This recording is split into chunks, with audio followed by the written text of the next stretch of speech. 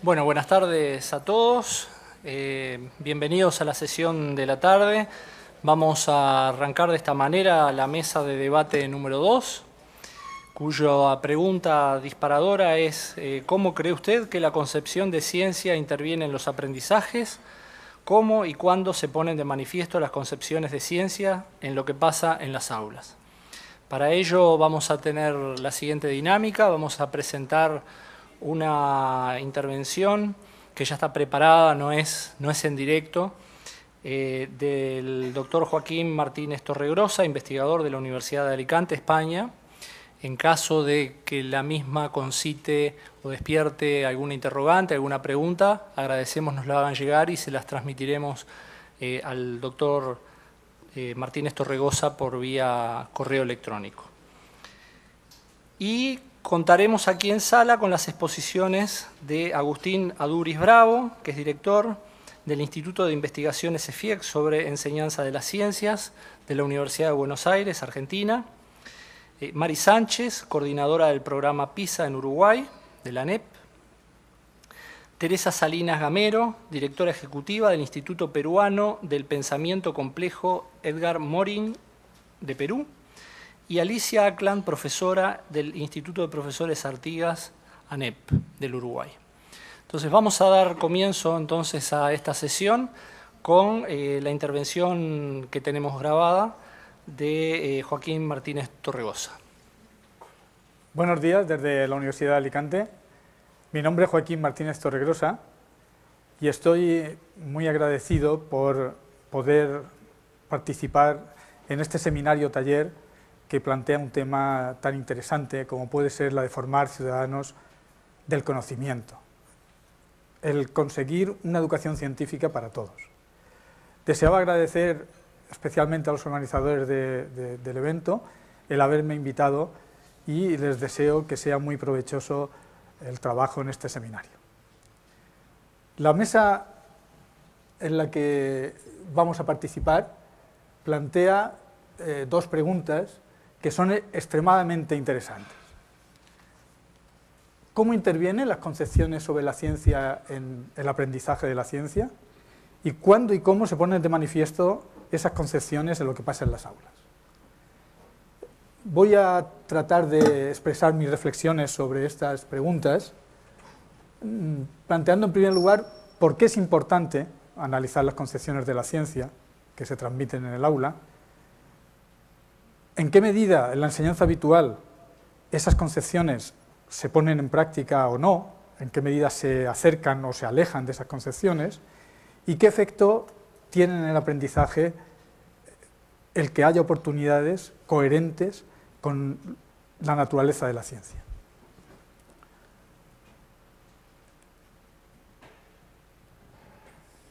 El gráfico que vemos aquí pretende expresar la relación que pensamos que existe actualmente entre el aprendizaje de las ciencias, su enseñanza y la metodología científica relacionada íntimamente con la naturaleza de la ciencia. El problema del aprendizaje de las ciencias y de la enseñanza eh, es que deseamos que las personas se apropien de las ideas científicas para pensar sobre el mundo. Pero esa apropiación no es algo que se puede producir partiendo de cero. Sabemos desde hace muchísimos años que todos nuestros alumnos tienen ideas espontáneas sobre los temas que se van a tratar en la clase y que por lo tanto no se trata de adquirir partiendo de cero unas ideas, sino que se trata de conseguir una evolución, un cambio de las ideas espontáneas que tienen, que han sido generadas en un ambiente informal por su contacto con el mundo exterior y con las personas, deben evolucionar esas ideas hacia las ideas científicas. Se trata pues de un cambio conceptual, no de una mera adquisición conceptual. El problema para conseguir ese cambio, que por supuesto no es fácil, es que las ideas espontáneas son fruto de una forma espontánea de producir y aceptar conocimientos, lo que podemos llamar mm, epistemología espontánea. En cambio, las ideas científicas son frutos de una forma de producir y aceptar conocimientos no con natural, una forma de producir y aceptar conocimientos que la humanidad ha tardado siglos en llegar a ella. Entonces, para que vean mejor en las ideas científicas que las espontáneas, es necesario que cambien los alumnos la forma en que producen y aceptan conocimientos. Dicho de otra manera, la evolución, el cambio conceptual no es posible si no va acompañado de un cambio metodológico, de un cambio en la forma de producir y aceptar conocimientos. Por supuesto, como vemos al fondo de ese gráfico, el, aprendizaje espontáneo, las ideas espontáneas, la forma de producir y aceptar conocimientos espontáneas, requiere poca implicación actitudinal consciente. En cambio, el aprendizaje de conocimientos científicos, la puesta en práctica de una forma de razonar coherente con el trabajo científico, requiere mucha implicación actitudinal consciente. Por ello, la enseñanza se debe organizar para que ese cambio metodológico sea posible, es decir, se debe conseguir que el proceso de construcción de conocimientos científicos se vea reflejado en la medida de lo factible y deseable y posible en cada nivel escolar en lo que se hace en la actividad del aula. Esta concepción de cómo debe mm, ser la enseñanza de las ciencias es una concepción ampliamente compartida y apoyada y que ya forma parte de los currículums de países mm, muy importantes como pueden ser los Estados Unidos, el National Curriculum inglés o el diseño curricular base español. Como se decía ya en los primeros National Standard y en los actuales, en los nuevos, en todos los niveles la educación científica debe basarse en la metodología de la investigación, como forma de favorecer que aprendan ciencias, a hacer ciencias y sobre las ciencias.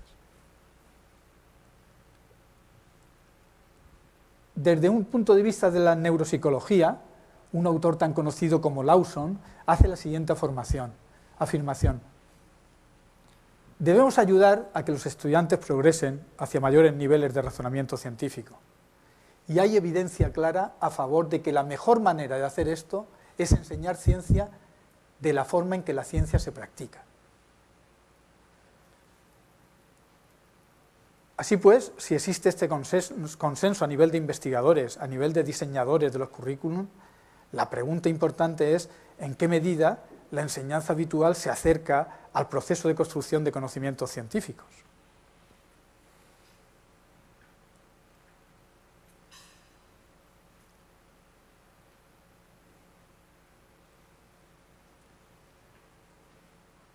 Como ven, esa frase afirma que no tiene por qué. ¿Acaso los arquitectos de las grandes catedrales esconden la belleza de sus trabajos dejando los andamios después de haberlas terminado? Esta frase tan llamativa es ni más ni menos del genio de las matemáticas Gauss, que fue, y fue la respuesta que dio cuando algunos de sus colegas le interpelaron por la falta de motivación de sus trabajos. Gauss tuvo una gran influencia en los textos universitarios en los siglos XIX y XX, y Newton, de una manera muy parecida a Gauss, tuvo una influencia fundamental en los textos de un siglo antes. El fruto de esta forma de, pensar, todo lo hemos vivido cuando hemos estudiado matemáticas a nivel medio o superior. Definición, teorema, demostración, corolario, definición, teorema, demostración, corolario. Yo siempre, cuando estudiaba matemáticas, me pensaba que, ¿cómo es posible que pensaran así los matemáticos? Si es que se levantaban por la mañana y empezaban definiendo cosas. Por supuesto, ni Gauss, ni Newton, ni nadie ha podido elaborar conocimientos pensando de esa manera. Pero la forma en que se han transmitido y que han pasado a los textos universitarios muestra ya una determinada concepción de la ciencia. Una concepción de la ciencia que podemos mm, caracterizar de distintas maneras, eh, todas entre sí relacionadas. En primer lugar, esta forma de exponer los conocimientos transmite una visión deshumanizada, sin sujeto. Desaparece los sujetos, el sujeto del pensamiento.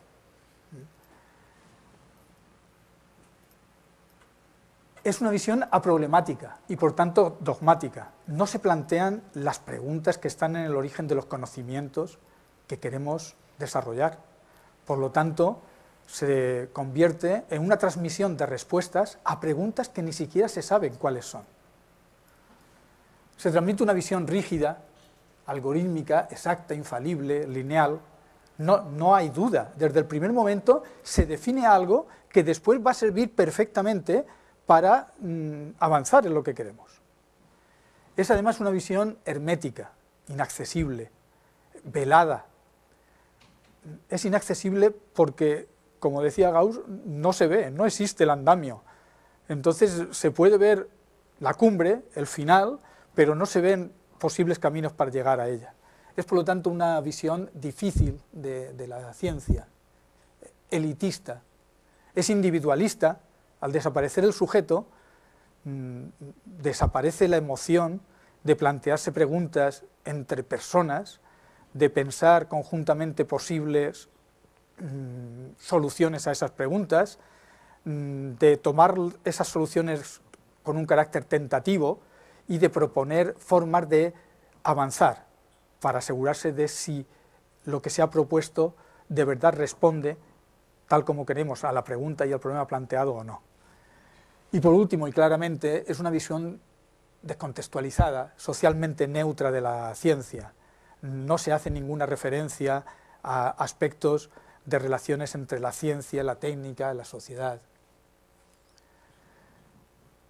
Pueden pensar que esta es una visión extrema, eh, y lo es, es una visión extrema y lo es. Normalmente en, los niveles de enseñanza primaria y de enseñanza secundaria no se suele mm, transmitir una visión tan extremadamente deshumanizada como la que Gauss eh, transmitía. ¿Qué encontramos en la enseñanza habitual? Pues precisamente este año he estado mm, supervisando el practicum de futuros maestros de primaria y he obtenido información de lo que ocurre en las aulas donde van a hacer las prácticas. La práctica mayoritaria en las aulas de primaria es leer el libro de texto donde están los conocimientos en su estado final, subrayar lo importante, rellenar huecos donde solamente hay que poner una palabra que se encuentra en el texto y hacer controles donde los niños deben repetir exactamente alguna información o alguna palabra que esté en el texto. En secundaria se separa la situación de lo que he relatado hasta aquí, pero también la forma más habitual es la transmisión verbal de conocimientos en su estado final, la explicación de la teoría mm, por parte del profesor, la realización de ejercicios para aclarar y fijar lo transmitido, las sesiones de dudas para aclararlo, y después la evaluación que se reduce a exámenes donde el tipo de contenidos y el formato de las actividades eh, muestra un gran reduccionismo conceptual y metodológico, donde no aparecen preguntas donde tenga cabida la incertidumbre, la formulación de hipótesis, eh, el poner en duda datos y resultados y analizarlos, los planteamientos cualitativos, y además es una evaluación que suele permitir el éxito del aprendizaje repetitivo.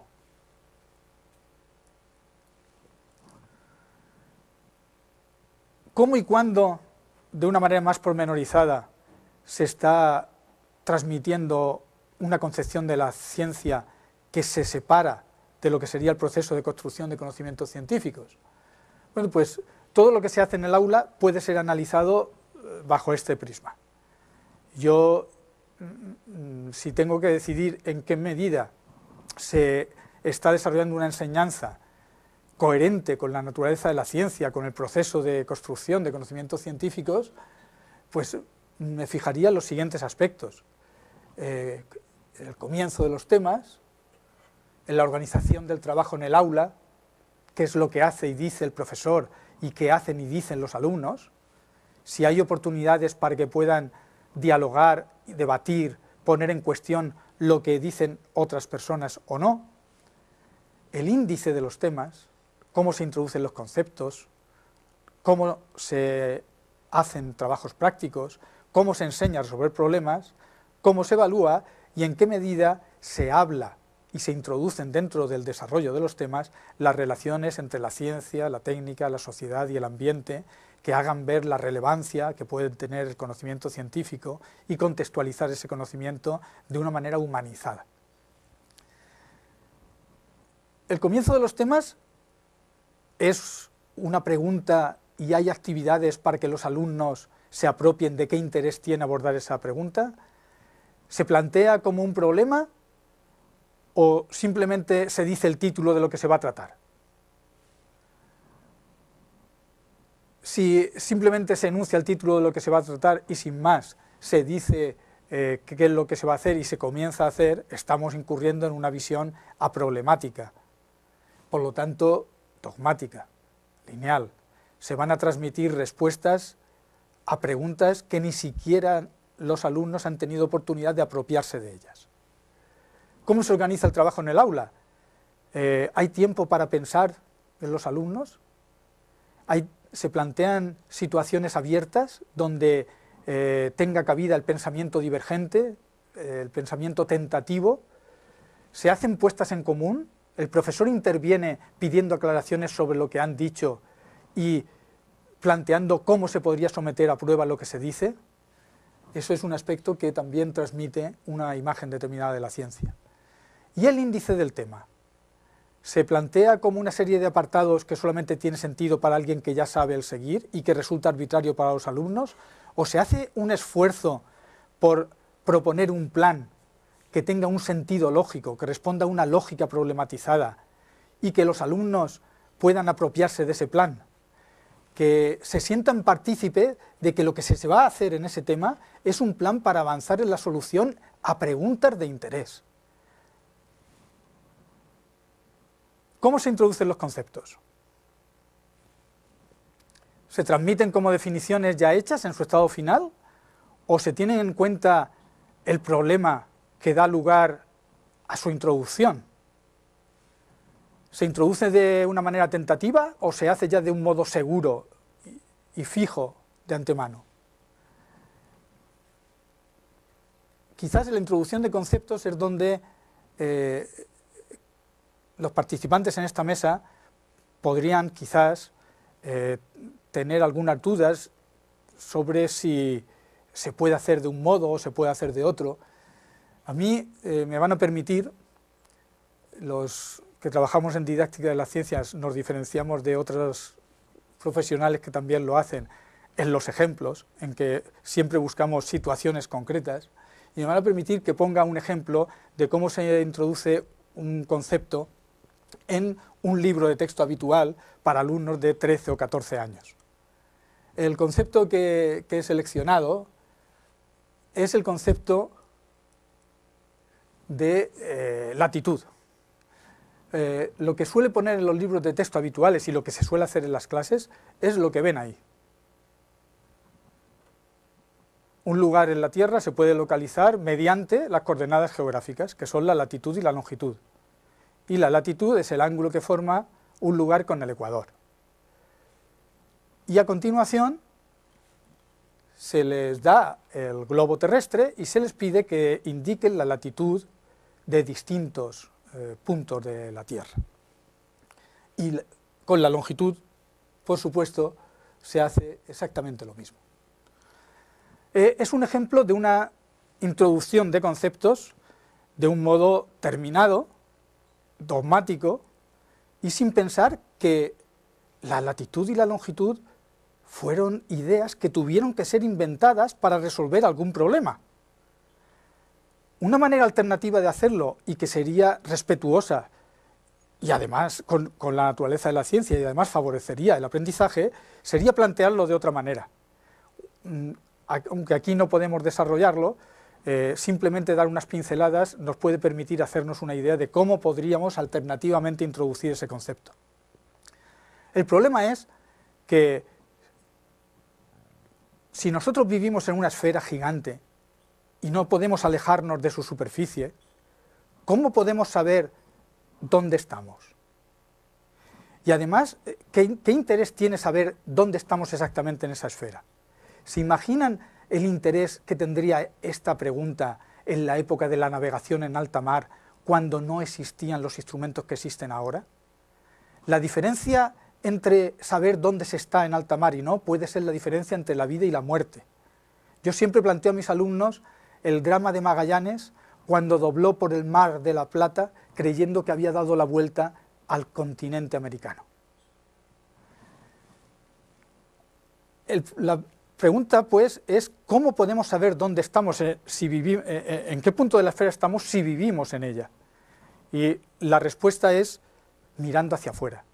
Sabemos que los astros no se ven exactamente igual según, y depende del lugar en que vive una persona o no vive una persona. En concreto, por ejemplo, ustedes ven el día de equinoccio, el día 21 de marzo próximo, verán que la culminación del Sol tiene un valor de 55 grados sobre el suelo. En cambio nosotros veremos que tenemos una culminación de 52 grados. Sabemos además que cómo tiene que estar el Sol y la Tierra el día de equinoccio, que es el día en que todo ocurre exactamente igual en todas partes de la Tierra, excepto una cosa, que es la elevación con que vemos los astros. Así pues, podremos utilizar el que la duración del día sea exactamente la misma, el lugar por donde sale y por donde se pone sea exactamente lo mismo, y que la única diferencia que haya entre los distintos puntos de la Tierra sea la elevación del Sol al mediodía en los días de equinoccio para colocarnos en la Tierra? Bueno, pues aquí tenemos el ejemplo de Alicante. En Alicante, el día de equinoccio, la culminación del Sol, la elevación máxima que alcanza al mediodía, es 52 grados. Aquí tenemos la situación de la Tierra que necesariamente debe ser así en los dos días de equinoccio. Tiene que, como ven, la línea que separa la, luz, la parte iluminada de la parte oscura, tiene que contener ese plano al eje para que al girar la Tierra el día dure exactamente lo mismo en todas partes y se vea salir el sol y ponerse exactamente por el este y ponerse por el oeste en todas partes del mundo.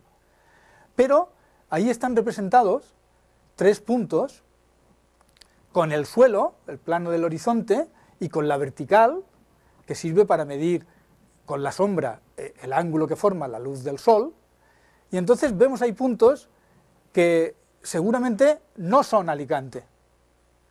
Podemos ver ese punto en que la luz del sol llega sobre la cabeza de las personas, es decir, la elevación del sol en 90 grados, y a esos puntos en que el día de equinoccio la luz les llega desde la vertical al mediodía, se les llama ecuador. Ese punto, pues, no puede ser Alicante, su culminación es 90 grados el día de equinoccio. El punto de arriba, que hay cerca, que se encuentra cerca del círculo polar, eh, como ven, su culminación es claramente menor de 52 grados. Para encontrar un punto que viera la culminación igual que Alicante, tendríamos que ir recorriendo la circunferencia y ir midiendo el ángulo hasta encontrar un punto cuyo valor fuera 52 grados. Y ese punto podría corresponder a Alicante. Si ese punto de ahí, el ángulo que, mide, fuera 52 grados, ese punto correspondería a Alicante y por lo tanto podríamos tener localizado Alicante en el planeta a partir de la culminación del Sol en el día de equinoccio. No obstante, como trabajamos con modelos, es más fácil que ir recorriendo la circunferencia hasta encontrar un punto de 52 grados, pensar que el ángulo complementario de 52, que es 38, que ven ahí, fíjense que en ese modelo de tierra esférica es el mismo ángulo que forma el radio de la Tierra que va desde el centro al lugar que estamos considerando con el ecuador. Y que es muy fácil colocar ese punto midiendo con el compás, con el semicírculo, dicho ángulo en nuestro modelo. Por lo tanto, para colocar el punto, en vez de utilizar la culminación el día de equinoccio, se utiliza el complementario de la culminación el día de equinoccio. Es decir, 38 grados y ahí tenemos la latitud de Alicante. A ese ángulo complementario de la culminación el día de equinoccio se le da el nombre de latitud. Por cierto, en Montevideo, como ven el sol ir, en vez de como nosotros, de izquierda a derecha, lo ven ir siempre de derecha a izquierda, tiene que estar en, en el hemisferio al sur del Ecuador, y como ven, eso sería el Ecuador,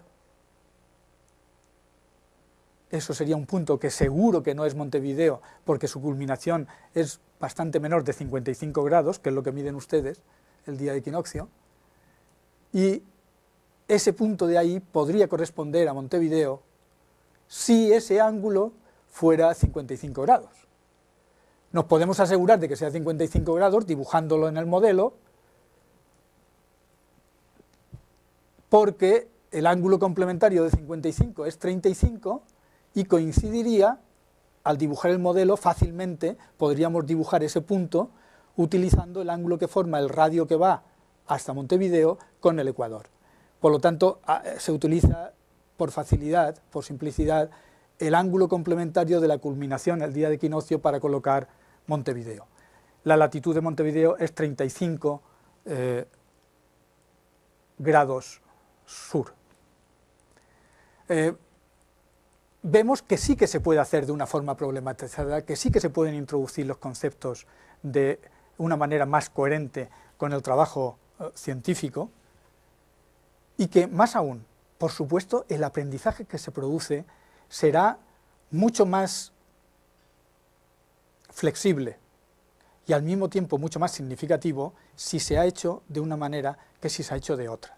Está comprobado que cuanto más se acerca la introducción de conceptos, cuando más se acerca la actividad del aula a la naturaleza del trabajo científico, más flexibles, más utilizables, para más cosas pueden utilizar los conocimientos los alumnos.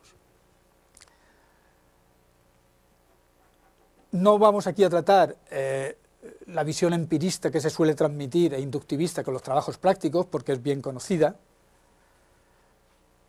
La resolución del problema, el cómo también se transmite cuando se plantean como menos ejercicios de aplicación una determinada concepción de la ciencia, o con la evaluación, por falta de tiempo, pero me parecen aspectos importantes a tratar en la mesa de en qué medida esos aspectos, según cómo se realizan en el aula, están transmitiendo una visión deformada de la ciencia y afectando negativamente al aprendizaje de las ciencias. Eh, eh, ¿Cómo? ¿Cómo suele afectar el que nos separemos eh, de, suministrar oportunidades sobre el conocimiento científico. Bueno, pues desde mi punto de vista se pierde buena parte o toda la motivación intrínseca cuando no se hace de una forma problematizada, tentativa la enseñanza. Se pierde la emoción, el entusiasmo que tienen las personas que se sienten que están trabajando en una pregunta que tiene sentido para ellos, que se sienten partícipes de un plan que han pensado y que creen que les va a conducir a algún sitio. Se pierde la orientación, el saber por qué y para qué y cómo se están haciendo las cosas. La persona, cuando en este caso en que se separa la enseñanza de la naturaleza de la ciencia, es movida entonces por motivaciones extrínsecas, por la presión social para el éxito, por la competencia contra otros. Por supuesto, aquellas personas que tienen ese apoyo exterior suelen tener éxito académico en mm, la tarea de aprender ciencias, entre comillas. En cambio, los estudiantes de ambientes más desfavorecidos, aquellos que tienen menos motivación extrínseca, menos apoyo social, familiar, tienen menos oportunidades. ¿eh? Se, se obstaculiza desde mi punto de vista, pues, una educación científica para todos, que es uno de los objetivos que debe impulsar este seminario. Muchas gracias y espero que el trabajo en el taller sea muy provechoso.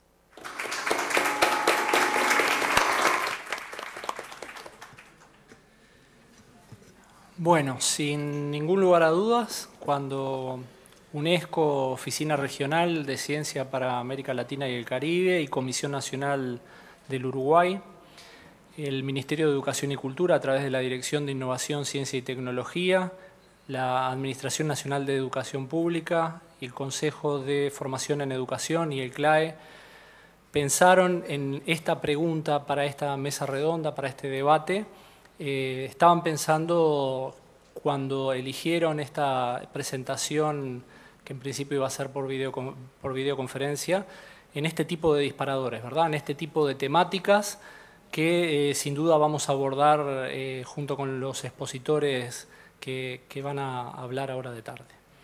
Bueno, escuchamos en primer lugar entonces a Agustina Duris Bravo de la UBA. Gracias.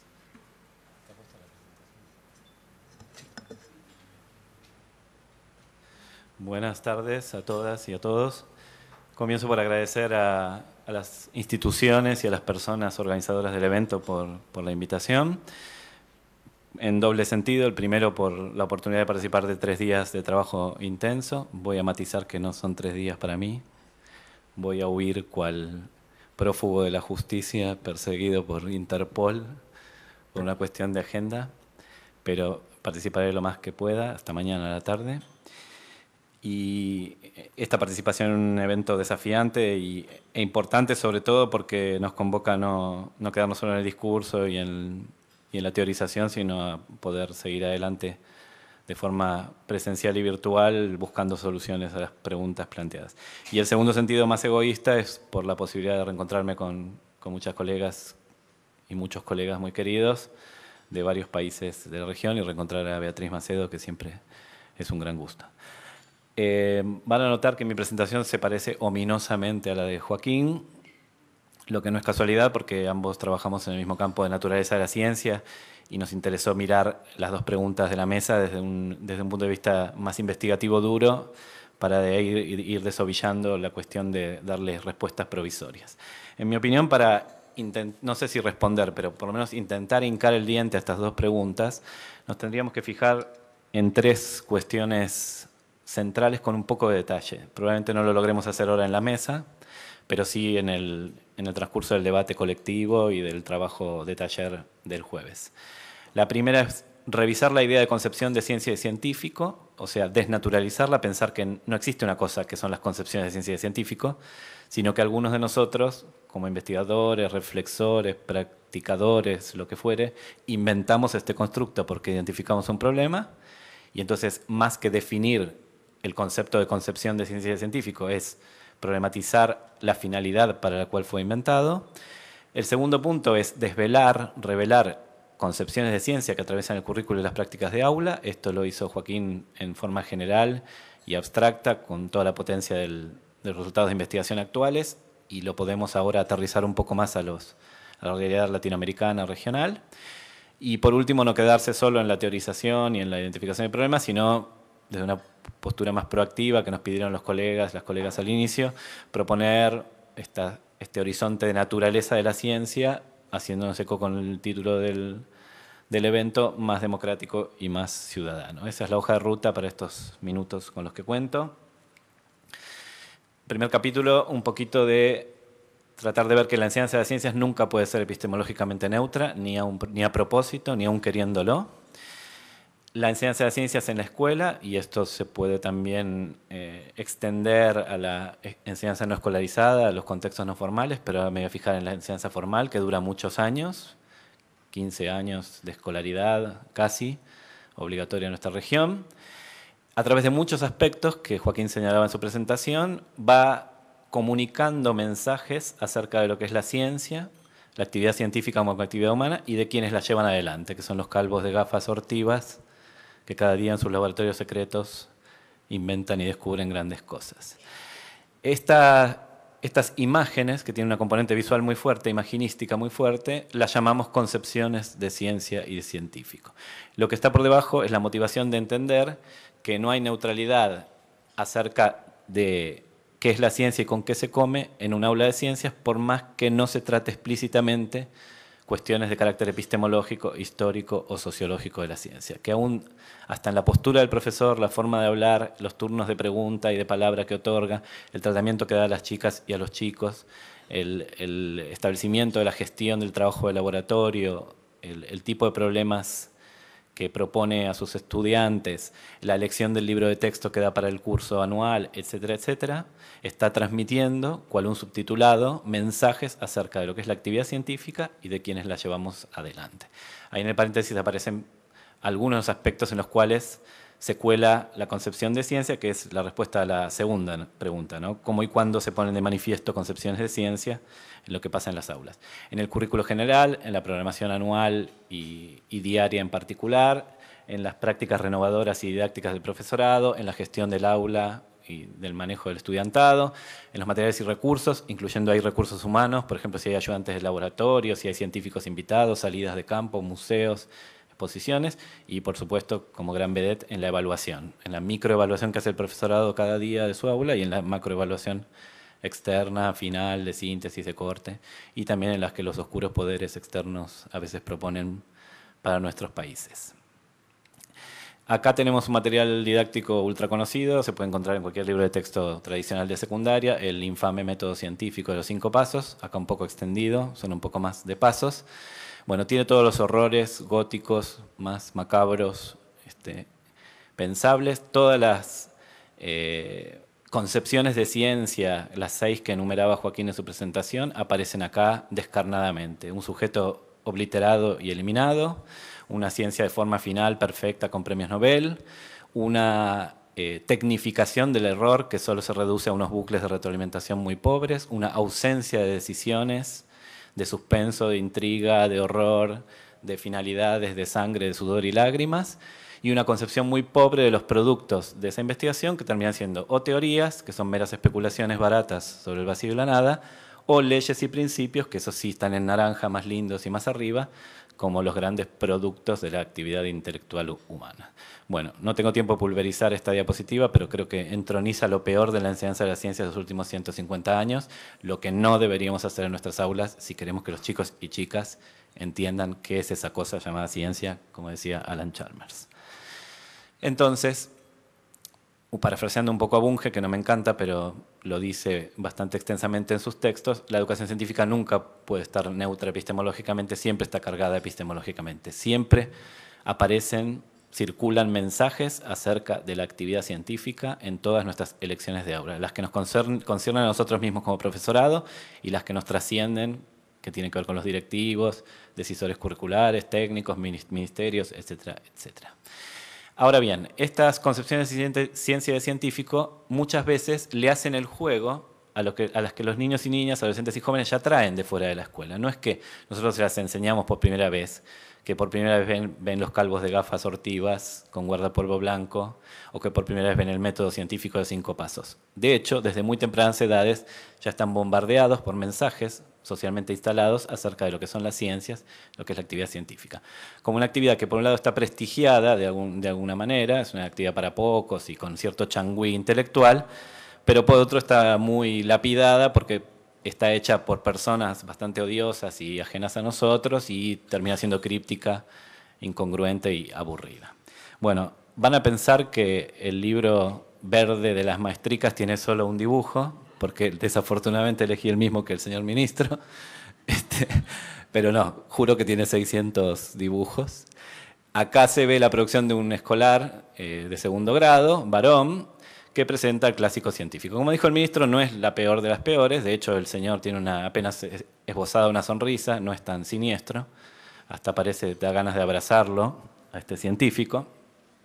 Pero bueno, está en un laboratorio batisecreto hundido en las profundidades de la Tierra con un aparato con muchas palancas, que debe ser un calistrómetro profafilístico, nicástico, para destruir la humanidad algún sábado que no tenga nada mejor que hacer.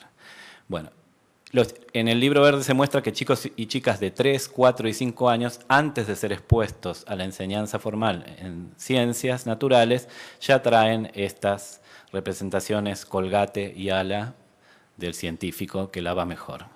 y que quedas más lindo que nunca como en Reduce Fast Fast. Entonces, circula una representación social, folk o naif de la ciencia, muy enquistada, muy instalada en el universo occidental y en la cultura hegemónica, como decía Elsa, en la cultura esta que se sobreimpone a las demás culturas y que además es fuertemente valórica, transmite valores. Uno podría decir, si yo pido a los chicos que dibujen un jugador de fútbol, una abogada, una médica, lo que fuere, también van a haber estereotipos, porque esa es la gracia del estereotipo, que en griego quiere decir un tipo sólido, es un dibujito que transmite mucha información en poco espacio. Sin embargo, los otros estereotipos son socialmente más valorados. Si les pido que dibujen un jugador de fútbol, probablemente lo harán con piernas de maceta y con primaria incompleta y pelo cepillo, pero lo harán con unas bolsas de dinero a su alrededor, muchas chicas semidesnudas, un coche último modelo, etcétera, etcétera, mostrando la validación social de esa profesión a diferencia de la del científico. Entonces, el problema de todo esto anterior, de que mandamos mensajes acerca de la naturaleza de la ciencia y que esos mensajes sintonizan profundamente con los que los chicos ya traen, es que muchas veces el profesorado no somos conscientes de todo esto.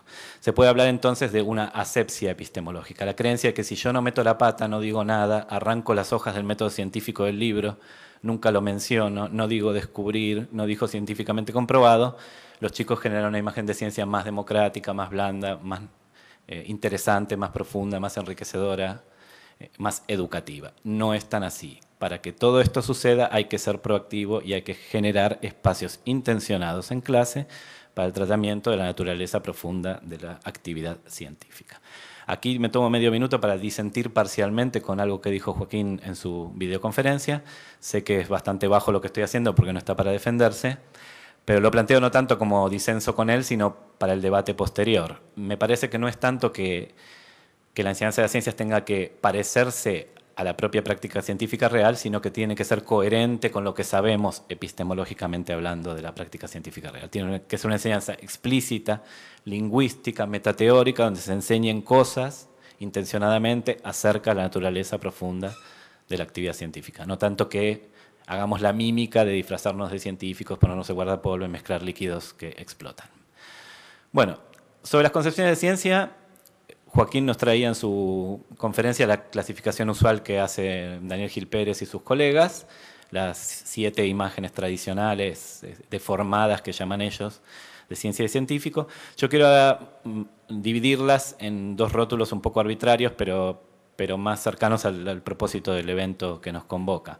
Hablar de concepciones de ciencia que podríamos llamar más autoritarias u otras que podríamos calificar más de democráticas. Las imágenes autoritarias serían aquellas que generan exclusión de algunos de los chicos y chicas, adolescentes y jóvenes. Algunas de estas las mencionó Joaquín y intentó ejemplificar en el listado que fue el centro de su presentación. Una imagen velada y elitista una ciencia para pocos, para elegidos, para gente a la que le da la cabeza, que ya nació para eso, que tiene virtudes secretas que nadie conoce, o en la crueldad de los chicos de primaria, los que son nerdos, anteojudos, aburridos, miran bichos pequeños con lupas grandes. Esos son para la ciencia y el resto de la humanidad no, queda excluida ab initio una imagen androcéntrica y etnocéntrica donde figuran varones blancos con pelucas de rulos, muchas barbas y bigotes, serios, posando para la foto o el busto de mármol si no había foto en esa época. Una imagen individualista y competitiva donde solo hay nombres, con nombre y apellido, el profesor doctor cual, el premio Nobel tal, que descubrió no sé qué y no sé cuántos. Estas tres primeras imágenes constituirían lo que el ministro llamaba la galería de retratos, ese aburrido compendio de varones autoritarios, maravillosos y sublimes con los que nos aplastan los libros de texto, todo lo que nunca vamos a poder hacer. Yo tenía un profesor de física que preguntaba el primer día a sus estudiantes en la universidad, me refiero, qué edad teníamos. Entonces nosotros decíamos 21, 22, 24, por ahí oscilaban las edades. Y él decía, bueno, a los 19 ya Newton había escrito tal cosa, a los 17 Faraday no sé qué, no sé cuántos. Bueno, vos recogías los restos de tu humanidad y te ibas reptando hacia la puerta. Te había querido decir que, querido decir que eras un mediocre, que nunca ibas a ser Newton ni Faraday. Después una imagen más vinculada al, producto del conocimiento, que era lo que nos mostraba la lámina del método científico. Una imagen demostrativa y clausurada, donde solo hay verdades reveladas, ¿sí? en las tablas de la ley de Moisés, donde todo queda científicamente comprobado y tiene un sello rojo y se clausura la carpeta y se guarda en un, en un archivo una biblioteca, y una imagen críptica, hermética, de desmedida complejidad. Y esto se mencionó varias veces en las intervenciones de la mañana. Este, los científicos, científicas y el profesorado de ciencias contribuimos grandemente a esto porque somos incapaces de contarle a nuestras abuelas qué hacemos o de qué trata la ciencia con palabras normales y corrientes. Siempre ponemos un tono altisonante, serio, de velorio, para explicar algo que debería ser sumamente sencillo y que se podría decir en castellano normal. Este conjunto de imágenes y varias más, algunas de las cuales Joaquín trató en su, en su, presentación, van generando exclusión. Y el mecanismo es particularmente perverso, un poco lo mencionó Elsa en su presentación, porque tiene la ilusión de autoexclusión. Los chicos, más o menos en el pasaje de la primaria a la secundaria, internalizan el discurso y se lo creen. Y van a casa y típicamente en el almuerzo o en la cena dicen, mamá, ¿sabes qué? Yo no soy para esto, a mí no es exactamente. Yo en realidad quiero ser piloto de carreras o quiero estudiar corte y confección, pero la ciencia a mí no me termina de cerrar. Bueno, eso se lo hicimos creer nosotros, profesorados, científicos, eh, periodistas, divulgadores, sociedad en general. Es decir, que hay quienes ya son para esto y el resto de la humanidad que se quede afuera esperando y tocando la puerta. Eh, uy, solo dos minutos, horror. Bueno, este sería el epítome de esta ciencia seria exclusora, Watson y Crick, una mejor foto donde salen mejor aún. ¿sí? Acá los pescaron un poquito más lindos. Y en cambio, imágenes que contribuyen a, la inclusión de los chicos y chicas, a la participación más activa, y no necesariamente aquí me refiero a que sigan carreras científicas, vayan a ser científicos tecnólogos, sino que disfruten de la ciencia, participen, opinen, eh, tengan opinión formada, tomen decisiones, eh, critiquen, eh, demanden a sus legisladores y políticos. Algunas de las imágenes serían estas que están ahí enunciadas. Una ciencia como una actividad profundamente humana, parte de la cultura, como se dijo en la conferencia de la mañana. Entender la ciencia como una larga saga de hombres y mujeres que nos han precedido y se han hecho preguntas similares a las nuestras y que han este, gastado sangre, sudor y lágrimas para responderlas. Una aventura del pensamiento, como decía Einstein, pero también del discurso y de la acción, una aventura más proactiva y de salir del laboratorio y del aula.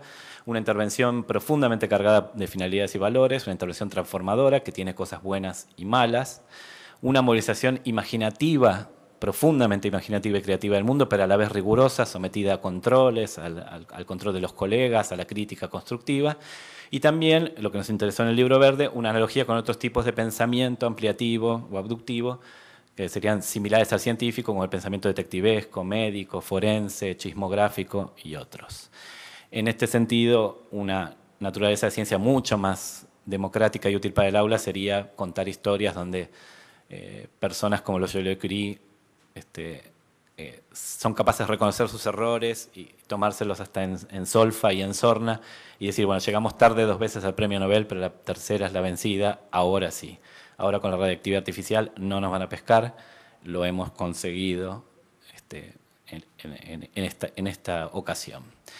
Y eh, por último, en el minuto 20 que me queda, una propuesta que puede incidir en los aprendizajes metacientíficos y científicos. Este sería un intento de, de respuesta a la primera pregunta. ¿Cómo cree usted que la concepción de ciencia interviene en los aprendizajes? Está muy estudiado que la concepción de ciencia interviene en los aprendizajes metacientíficos, en lo que sabemos acerca de la naturaleza de la ciencia. Lo que está mucho menos estudiado y es un pendiente es si saber más acerca de la actividad científica que la lleva adelante mejora lo que sabemos del contenido científico puro y duro. Nos hace saber más física, química o biología. Esa es la propuesta que Joaquín llamaba naturaleza de la ciencia, como una componente reciente emergente del currículo de los últimos 20 años, que sintoniza mucho con las finalidades de los nuevos currículos latinoamericanos, uruguayo, argentino, de toda la región. Pretende enseñar explícitamente ideas metacientíficas, principalmente epistemológicas, y es ahí donde me desmarco un poco de la conferencia anterior, diciendo que no solo hay que eh, atravesar prácticas similares a las de la actividad científica real, sino que hay que reflexionar metateóricamente sobre ello, cosa que no se hace en la práctica real universitaria. Confronta fuertemente las concepciones ingenuas o folk o naif de ciencia y de científico, apunta a generar en los chicos y chicas una visión más crítica de la ciencia, pero con crítica también me refiero a una visión más proactiva en la que podamos demandarle cosas a la ciencia, pedirle, confrontarla, decirle, reclamarle. Y por último, lo que está poco estudiado, pero ya hay pistas, mejora aprendizajes científicos en su estricto, nos hace entender mejor de qué va la física, la química y la biología. Bueno, el ejemplo que tenía acá no lo puedo contar por la falta de tiempo, pero es una actividad de nuestro grupo de investigación en el CEFIEC, en la UBA, se llama Un descubrimiento teñido, va sobre la vida y milagros de William Henry Perkin. Ustedes pueden decir que es un contraejemplo de lo que venía pontificando, porque hay un varón blanco de figura central, pero bueno, tengo otras actividades sin varones y sin blancos. La idea es que tras el intento de crear eh, quinina sintética para el ejército británico, para que el ejército británico conquistara el mundo, este señor consiguió el primer colorante artificial de valor comercial, la púrpura de Perkin, se hizo súper rico, ahí aparece con una bufanda teñida de púrpura de Perkin, y de hecho después legó a la humanidad los primeros tratamientos quimioterapéuticos. algunos de los colorines de Perkin, inventados por Perkin, demostraron ser bacteriostáticos o bactericidas muy potentes y gracias a ellos probablemente muchos de nuestros abuelos o bisabuelos se salvaron de, pandemias anteriores.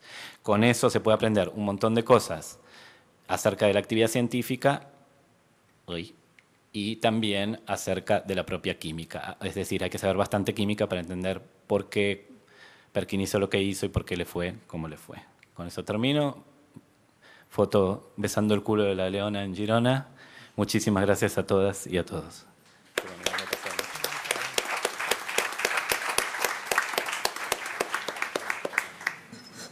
Bueno, venimos bien, venimos eh, aportando cada vez más contenido para el, para el debate final. Vamos a escuchar ahora a Mari Sánchez del programa PISA. Bueno, buenas tardes a todos. Muchas gracias por la invitación. Este, las autoridades de ANEP eh, que participan en la organización de este precioso evento consideraron que el programa PISA Uruguay podía tener algo para aportar. Entonces, este, bueno, lo primero que les tengo que decir es que mi tarea en el programa PISA Uruguay es gerenciar el programa, es hacer que las cosas se cumplan en tiempo forma con los estándares establecidos. No soy profesora de ciencia, mi formación original es matemática, Sé que yo trabajo eh, como profesora de matemáticas, egresada del IPA, esa es mi tarea, eh, pero mm, desde que trabajo en el, programa PIS Uruguay, en particular en las evaluaciones tanto nacionales como internacionales, regionales, que nuestro país lleva adelante, eh, que estamos todos en la misma oficina y con mis compañeros que están acompañándome aquí, sobre todo la gente del equipo de ciencia, em, hemos podido trabajar los conocimientos y los eh, conceptos que las evaluaciones nos han ido dando, tanto en el desarrollo de las nacionales como las internacionales, desde una manera hacia afuera, de alguna forma, ¿no? Es eh, trabajar la evaluación, pero mirando hacia la difusión. Los primeros pasos este, lo dimos con el profesor Pedro Ravela, que era este, nuestro coordinador original en el programa PISA, y de ahí este, hemos tratado de seguir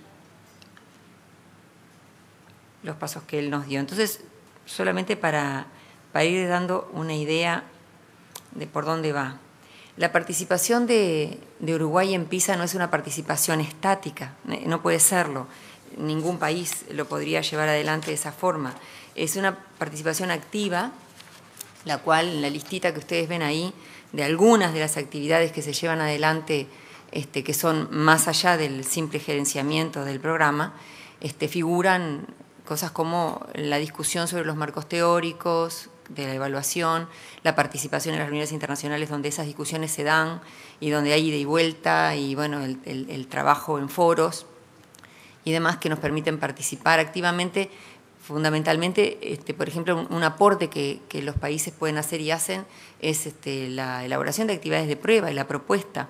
Em, en Latinoamérica y en Iberoamérica, porque España y Portugal también participan, tenemos el grupo que llamamos el Grupo Iberoamericano de Países PISA y hemos eh, tratado fuertemente de hacer aportes en ese sentido en la discusión de los marcos y en la elaboración de actividades de prueba eh, talleres, se han hecho talleres este, para que los expertos de los países, eh, digamos, compartan y discutan, siempre cuidando los temas de los contextos, los temas de los sesgos, los temas de, que la presencia de esa multitudinaria número de culturas y lenguas, ¿no? 40 lenguas, 63 países, 73 en el próximo periodo, este, de alguna manera no, no confabulen, sino aporten que, que la heterogeneidad sea riqueza. Intentando todo eso, entonces este, se, han, llegado a aportar algunas cosas. Siempre nos sentimos que aportamos demasiado poco. Este, por ejemplo, yo que sé, se han, se han elaborado actividades para el, cuando el foco fue lectura en el 2009, cuando fue matemática en 12, este, para ahora que en el, próximo periodo tenemos foco ciencias, tenemos, este, se han elevado algunas propuestas de contextos este, para hacer preguntas de ciencia. Pero, insisto, ¿no? siempre, siempre resulta poco, este, no nos da el tiempo de producir tanto como quisiéramos para poder hacer una presencia, pero la puerta está, la oportunidad está y hay que aprovecharla y tratamos de hacerlo. Otra de las cosas que también hacemos, eh, PISA tiene una particularidad que eh, la tienen también nuestras evaluaciones nacionales, que es trabajar con eh, factores asociados. ¿no? Los, los, análisis, los resultados no se brindan solamente ahí descarnados, sino en cruce con variables de todo tipo, cultural, social y demás. Y entonces una de las cosas que los países pueden hacer es eh, incorporar preguntas o instrumentos nacionales para hacer estudios más allá de lo que la propia evaluación propone. Uruguay lo ha hecho siempre, siempre tenemos preguntas nacionales en el cuestionario de, estudiante. Para este ciclo incorporamos algunas preguntas nacionales que tienen que ver con el cuestionario de centro, porque nos parece que hay algunas variables de gestión que hoy se mencionaba acá y para nosotros sí verdaderamente es muy importante de recabar para después poder analizar los resultados a la luz de esas otras variables Em, y entonces ese, ese, tipo de trabajo es el, que, es el que venimos haciendo desde que Uruguay participa en PISA. En realidad empezamos a trabajar en el 2001, porque la primera participación fue en 2003, por más que una, una participación en 2000 internacional en la que Uruguay no estuvo. Pero hemos ido llevando eh, el trabajo eh, en, ese, en ese sentido, digamos, el, por supuesto, eh, el cumplir con todos los estándares para que la base de datos sea lo fuerte, válida, consistente y útil que tiene que ser para poder permitir análisis posteriores, pero al mismo tiempo no perder el tren de, lo que está pasando y de seguir trabajando eh, con los colectivos eh, del, propio país y de la región. Entonces, para mirar un poquito, hoy Pedro les presentó la definición, nosotros decimos la definición larga, ¿no? la definición en la que está este, toda la, la conceptualización de PISA, nosotros trajimos la más cortita porque es más esquemática, en la que ven que habla acerca de la capacidad del individuo para involucrarse en los temas relacionados, lo que hemos venido hablando hasta ahora, este, para, participar en la sociedad con un discurso razonado, de una manera este, em, proactiva, como ciudadano reflexivo. Y habla acerca de las tres capacidades, ¿no? que el alumno debe ser capaz de explicar fenómenos científicamente, evaluar y diseñar una investigación científica, interpretar datos y pruebas científicas. Claro que evidentemente esta definición es muy amplia y ambiciosa, eh, y uno siempre se queda con la pregunta de si la prueba verdaderamente puede luego sacar conclusiones y hacer inferencias acerca de eh, el grado en que los alumnos logran o desarrollan esto. Y bueno, luego ustedes cuando ven los niveles de desempeño, que es lo que la prueba genera, o sea, la descripción de cuáles fueron las tareas que los alumnos son capaces de llevar adelante, de lo que la prueba propone, vemos que si bien no hay una eh, profunda descripción de cada una de estas capacidades, sí hay atisbos, sí hay menciones a esos procesos cognitivos que las hacen, ¿no? De alguna manera, esos procesos cognitivos que las sustentan, que sustentan la este, competencia científica o la cultura científica o la alfabetización científica, como se ha dado llamar, y que eh, es lo que las actividades de prueba permiten eh, o proponen o provocan a que el alumno active para que haga con lo que sabe y luego poder inferir en qué nivel de desarrollo, qué grado de desarrollo tiene esta competencia eh, a los efectos de lo que pudo mostrar en la prueba, ¿no? Entonces, con todas las restricciones que una prueba, que una situación de prueba, que una situación de evaluación pone a un joven de 15 años, con todas esas restricciones en la cabeza, este, la lectura de los resultados han sido bastante ilustrativos para nosotros. Los componentes de la competencia bueno, son los conocimientos científicos, los conocimientos disciplinares, que se han hecho bastantes estudios, en particular hicimos uno en Uruguay, eh, tanto para la competencia científica como para la competencia matemática, de lo que aborda PISA, y hemos visto que los, conocimientos, los eh, contenidos que se abordan en las, en las, actividades de prueba son curriculares, son, están este, explícitos en nuestros currículos las capacidades científicas, que son las tres que les nombraba antes, la de explicar y demás, los contextos auténticos, que esa es una, es una de las cosas que más hemos valorado y que los colectivos docentes con los que trabajamos en los talleres de difusión más valoran, acerca de el tipo de contexto en el que la actividad de prueba pone al alumno, lo, obliga a situarse, ¿no? no es este, como el ejemplo que daba Pedro hoy del gato que corre el ratón en movimiento rectilíneo uniforme, sino que son contextos que verdaderamente lo hacen sentirse parte de y le piden opinión, de alguna manera lo obligan a hacer algo en ese contexto. Y el tema, un tema muy importante que es componente de la, de la competencia eh, científica en PISA es el tema de las actitudes hacia la ciencia, que también estuvimos hablando bastante. En este caso, PISA siempre en sus marcos de las tres áreas que evalúa, bueno, cuatro con resolución de problemas, eh, pone a las actitudes hacia eh, el área en, un lugar importante, pero en particular para ciencia, no solamente las indaga en el cuestionario de estudiante, en donde le pregunta al estudiante qué siente que ha aprendido, cómo le resulta cuando aprende, qué, cómo se siente en la clase D, ese tipo de preguntas que hacen también a actitudes y emoción y demás con respecto a la disciplina, sino que en particular en ciencias esas preguntas de actitudes hacia la ciencia están en el propio cuadernillo de prueba. Y preguntas también del tipo de, ¿tú consideras que esto se puede responder con una investigación científica, por ejemplo? Eso para nosotros cuando, cuando entramos en, PISA y en particular en el 2006, cuando ciencia fue foco por primera vez, eh, nos llamó la atención y, nos hizo aprender muchas cosas, ¿no? Este, y me parece que eh, es un aporte también. Eh, bueno, entonces esto, el marco ¿no? que tiene esa estructura con esas cuatro componentes. Aquí los vemos mm, de una manera un poquito más explícita, donde están las tres, ahí en el centro las tres este, capacidades, hacen a la competencia científica, los contextos, en lo personal, lo local, lo global, que son las situaciones en donde el alumno se ubica para poder responder a las preguntas que las actividades de prueba proponen, los conocimientos, que son del tipo disciplinar, procedimental y epistémico, y las actitudes. Interés en la ciencia, valoración de la investigación científica y conciencia ambiental. Esas son, evidentemente esto es un corte, siempre que uno evalúa tiene que cortar, ¿no? tiene que hacer un corte una mirada concreta hacia algo y este es el corte que PISA hace, que a nosotros nos parece eh, bastante interesante para poder discutir, sobre todo en un ámbito como este, en el que hay tanta variedad de, aportes y de, y de gente interesada en, debatir. ¿no? Eso nos parece que está, es un buen marco para debatirlo para discutirlo, para decir cuán de acuerdo estamos con él. Es un marco de evaluación. Eh, ¿qué, otra, ¿Qué otra mirada le podemos dar? Todas esas preguntas que nosotros las proponemos cuando hacemos talleres, me parece que se las podemos dejar acá también como aporte. Hablando de talleres y de difusión, que es donde nos queremos centrar, ¿no? de, piso ustedes saben, habría mucho más para hablar, pero no es el, foco hoy. Eh, el foco es tratar de responder a las preguntas que la mesa propone o le proponen a la mesa para el debate. Y cuando trabajamos en difusión tratamos de trabajar y de cubrir muchos de los actores eh, que intervienen. ¿no? Cuando hablo de actores educativos estamos diciendo eh, no solo las autoridades, los decisores de política, eh, etcétera. También los científicos, para cada área de PISA tenemos un comité científico, algunos de los integrantes de los comités van a estar por acá en las mesas y demás. Eh, los comunicadores, hemos trabajado con talleres con periodistas, porque cómo se comunica, cómo se dicen las cosas, abre o cierra puertas, abre o cierra ideas, y entonces nos parece muy importante que la comunicación se haga de manera que siempre se abran puertas a la discusión.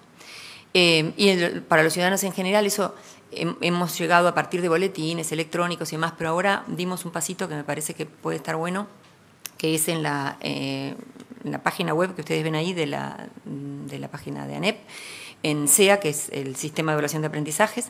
Ustedes sabrán que eh, Uruguay está trabajando con una evaluación en línea, ¿verdad? Con el trabajo en la evaluación en línea. Bueno, a partir de la plataforma de la evaluación en línea colocamos actividades liberadas de PISA para que una persona que no tenga, no tiene por qué estar registrado en la plataforma, directamente entra y ve cuáles son las actividades, qué se propone, qué se pregunta, cómo se contesta, qué niveles de desempeño quedan, etcétera. Nos parece que eso es por lo menos un pasito que dimos hacia, hacia el público en general, que más que llegar a los padres no teníamos otra, a través de los alumnos, ahora me parece que podemos avanzar un poquito. En los talleres con docentes, fundamentalmente nos dedicamos a tomar el marco de la evaluación con, mucha claridad que es un marco de evaluación, no de enseñanza. Y en ese marco indagar meternos adentro e indagar el tema de los contenidos que abordan las actividades de prueba, los procesos cognitivos que se activan para hacer visible en el alumno el grado de desarrollo en la competencia y la autenticidad de los contextos, contextos auténticos. Y eso es lo que discutimos con los docentes y eso es lo que ellos en general valoran muchísimo como, como aporte para después reflexionar sobre sus prácticas y en, todo caso tomar alguna de estas ideas para, para mejorar o para aportar a, su práctica, a su trabajo colaborativo y demás. En ese sentido, para nosotros la difusión más fuerte ha sido siempre entonces con los docentes. Les decía que lo que discutíamos era fundamentalmente sobre estas partes, pensarlo como un aporte desde la evaluación, pero no para la evaluación, sino para la reflexión de las prácticas de aula y ir a, ir a la idea de cuando yo trabajo con mis alumnos, enseño tal tema o pretendo que activen tal proceso cognitivo y utilizo el contenido como vehículo para... Esa es, esa es eh, la forma de trabajo que, que presentamos y que ha sido bastante útil. Entonces, en base a las dos preguntas que nos hacían, desde el humilde aporte que el programa PISA Uruguay puede dar y en particular desde mi caso que no soy, este, no tengo experiencia enseñando ciencias, trabajo en matemática como les decía, no las ciencias este, experimentales ni naturales. ¿Cómo cree que la concepción de ciencia interviene en los aprendizajes? Bueno, eso en general sí lo podemos contestar como docentes.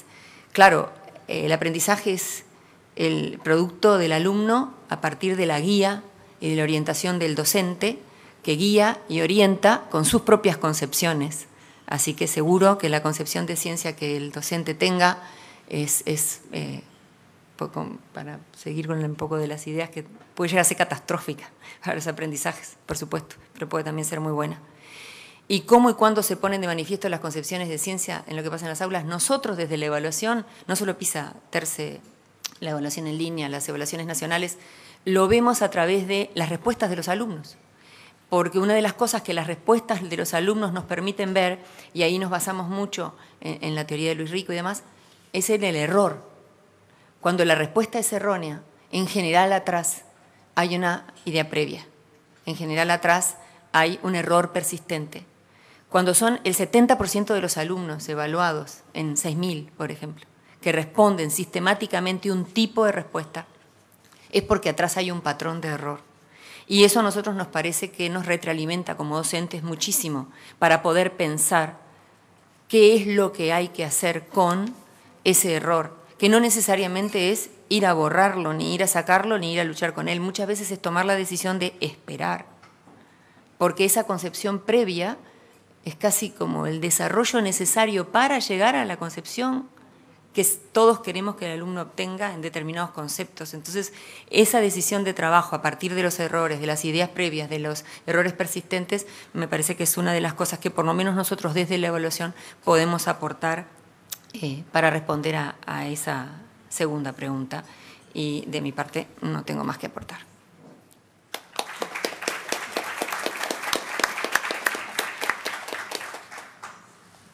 Muchas gracias. Seguimos recibiendo ideas. Ahora vamos a escuchar a Teresa Salinas Gamero, de Perú. Bienvenida.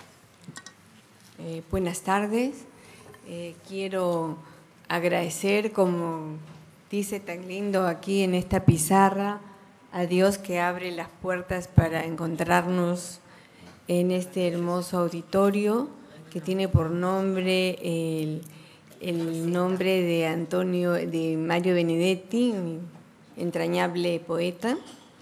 Eh, quiero también agradecer a la Comisión Nacional de Uruguay, al Consejo de Formación de Educación, a la Oficina Regional de Ciencia, al Ministerio de Educación, a todas las organizaciones y personas que han hecho posible nuestra presencia, a nuestra querida amiga Beatriz Macedo, una luchadora incansable por la educación científica en América Latina, con quien hemos compartido muchas jornadas y muchos sueños. Y es maravilloso encontrarnos en una nueva este, visión, en una nueva esperanza para mejorar la educación de nuestros pueblos. Y en este hermoso país, eh, a quien también nosotros los peruanos queremos mucho. Eh, voy a em, quizás a trabajar un ángulo un poco más desde la epistemología Eh, en la agenda que, eh, he preparado, bueno, creo que no la voy a poder ver muy bien desde aquí, así que mejor voy a retornar al auditorio, pero no sé si me escuchen. Eh, la agenda que más o menos quisiera abordar son los marcos epistemológicos de la enseñanza de la ciencia y ver cómo estos reflejan en las aulas y en muchos aspectos de toda la sociedad. Este es mi país en grandes rasgos. Este, somos cerca de 28 millones de habitantes eh, y tenemos dos lenguas oficiales hace poco reconocido, el español, el quechua y el aymara. Quisiera abrir eh, mi exposición con esta pregunta. ¿Dónde y cómo se produce el conocimiento? ¿Cómo se manifiesta esta brecha eh, en el mundo científico? Cómo contribuir a la educación de los ciudadanos del conocimiento y cuál es la situación y desafíos de la región en este contexto. Fíjense que los países desarrollados tienen el 80% de la inversión mundial en ciencia y el 90% de las patentes. Solo cerca del 2% eh, de la producción mundial corresponde a América Latina.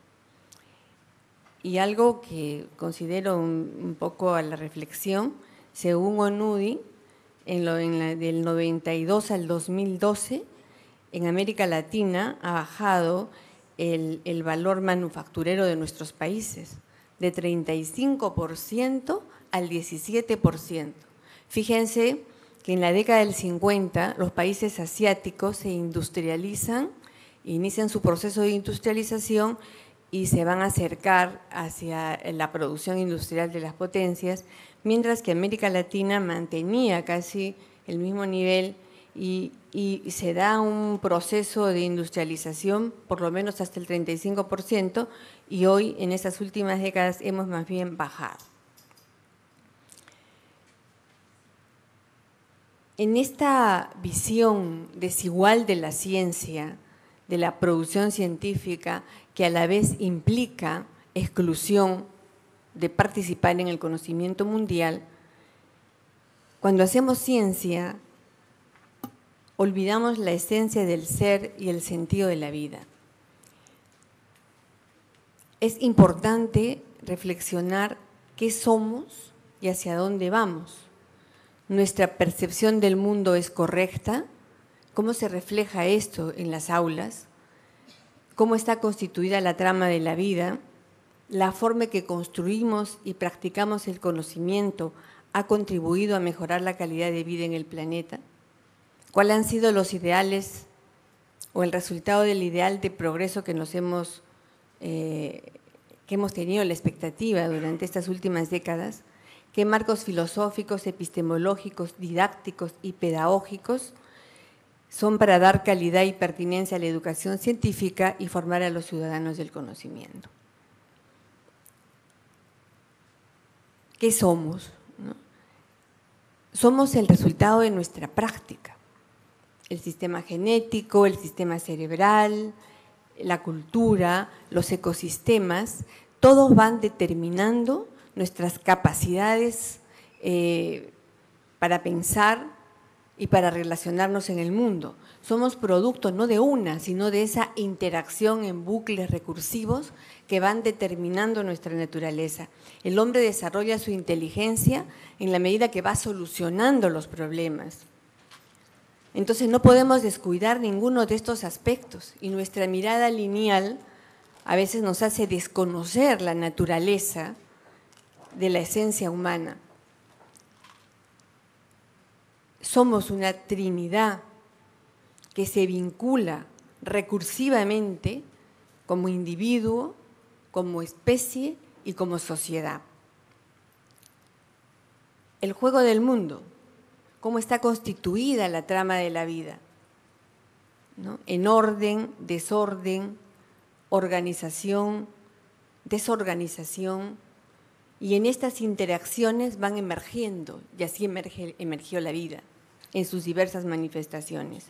Y este es el juego en el cual estamos inmersos en todas las actividades que realizamos, tanto en el ámbito natural como en el ámbito social. ¿Qué subyace a la trama, a la existencia nuestra? Nos subyace la complejidad. La complejidad es un tejido de constituyentes, heterogéneos, inseparables, asociados, irreductibles. ¿no? Es ese conjunto de interacciones, retroacciones y certidumbres que constituyen nuestro mundo fenoménico y que yacen en nuestra subjetividad, en nuestra intersubjetividad. Un aspecto fundamental cuando hablamos de la ciencia, cuando hablamos de la construcción de conocimiento, es tener presente cómo pensamos el mundo. Y ese es uno de los temas que no se aborda en la educación, y especialmente en la educación científica. Fíjense, el pensamiento dominante, el pensamiento de la educación dominante, que como también ya se ha manifestado en otras eh, presentaciones, nos dan una visión fragmentada del mundo, de verdades absolutas, de una descripción donde se usa un lenguaje lineal y una ceguera cognitiva porque practicamos el reduccionismo de los conocimientos, la simplificación, el pensamiento cartesiano, en la descripción del mundo, tiene una implicancia no solamente en el trabajo que nosotros podamos desarrollar en el aula, sino tiene una implicación en toda nuestra concepción, en cómo interpretamos y cómo interactuamos en el mundo. Necesitamos transitar hacia un pensamiento que aborde la complejidad que subyace a nuestra naturaleza. Necesitamos una visión compleja del mundo. Necesitamos abordar las incertidumbres. Necesitamos usar un lenguaje circular en la descripción del mundo y educar en las aulas desde la perspectiva de la complejidad. La forma lineal, desarticulada, reduccionista, en que nos educamos y desde los modelos mentales en que consciente e inconscientemente interpretamos el mundo en que vivimos, nos ha llevado precisamente a enfrentar esta crisis de civilización, que se manifiesta en la crisis financiera, en la crisis moral, en la crisis eh, que permea todos digamos, los ámbitos de la, de la especie en estos momentos. Se, construyó, se ha construido un marco insostenible donde la razón instrumental del cálculo del poder unido al desarrollo eh, de la tecnociencia y manejado por el control del poder económico, ha generado y está poniendo en peligro la supervivencia de nuestra especie en el planeta. No se puede construir y producir indefinidamente en un ambiente finito. ¿Qué necesitamos?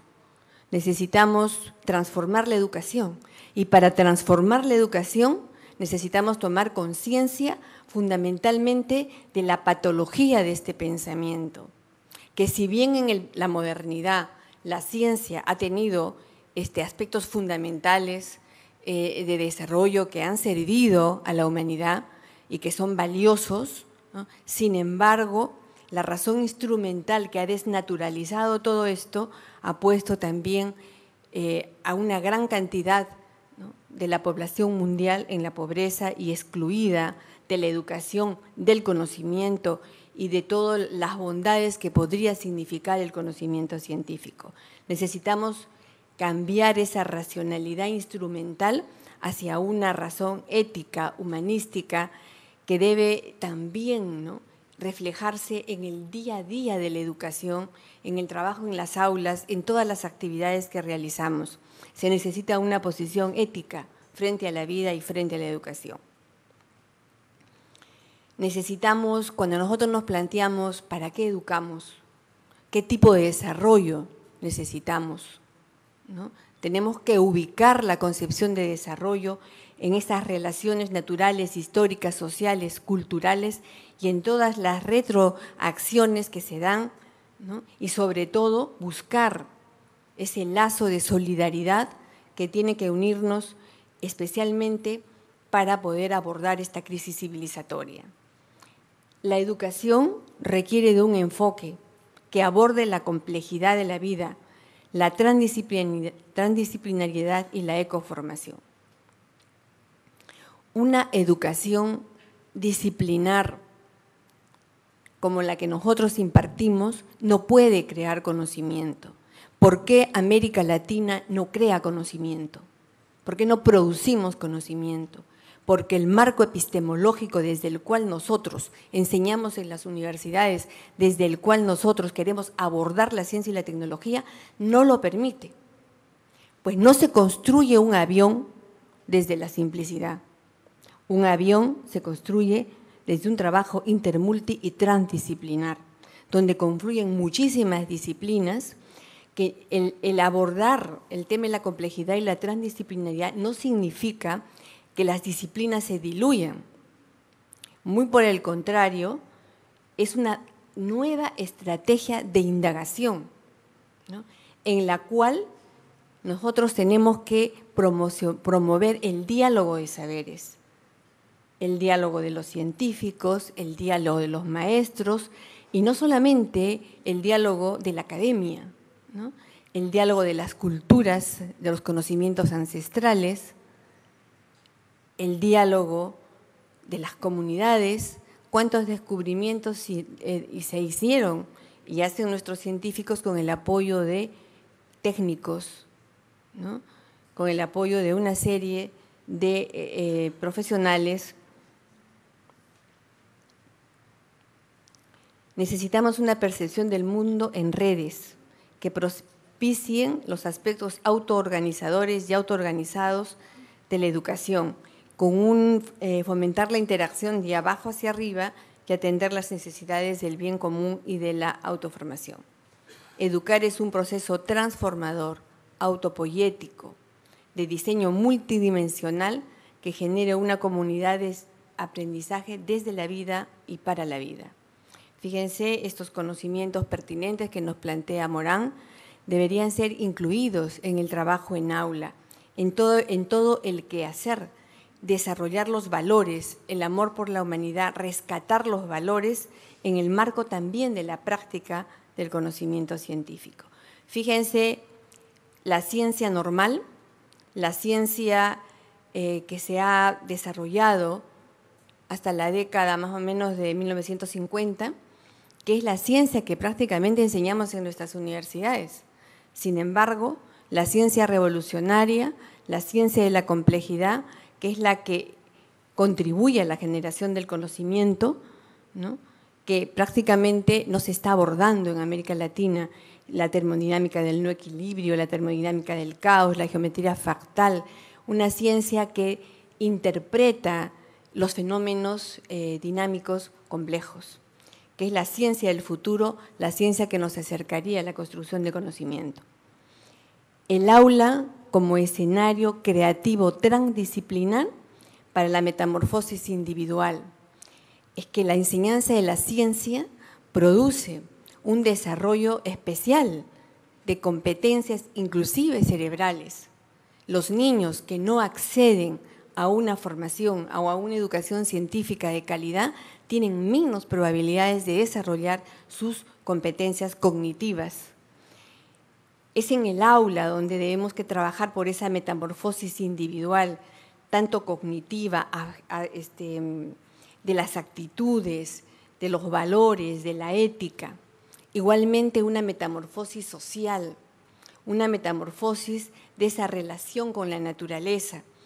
Y estos cambios no se pueden dar individualmente son realmente para una transformación, requerimos combinarlos, requerimos trabajar de una manera transversal, hacer una ciencia con conciencia, comprometida con la relación individuo, sociedad, naturaleza, una ciencia que interactúa y se nutre de la interacción de los saberes y el buen vivir de nuestros pueblos originarios en donde la crianza de la vida y el conocimiento también. Fíjense que los incas eh, podían eh, este, calcular, interpretaban el movimiento de los astros, habían desarrollado toda una serie de, de, técnica para conocer el mundo.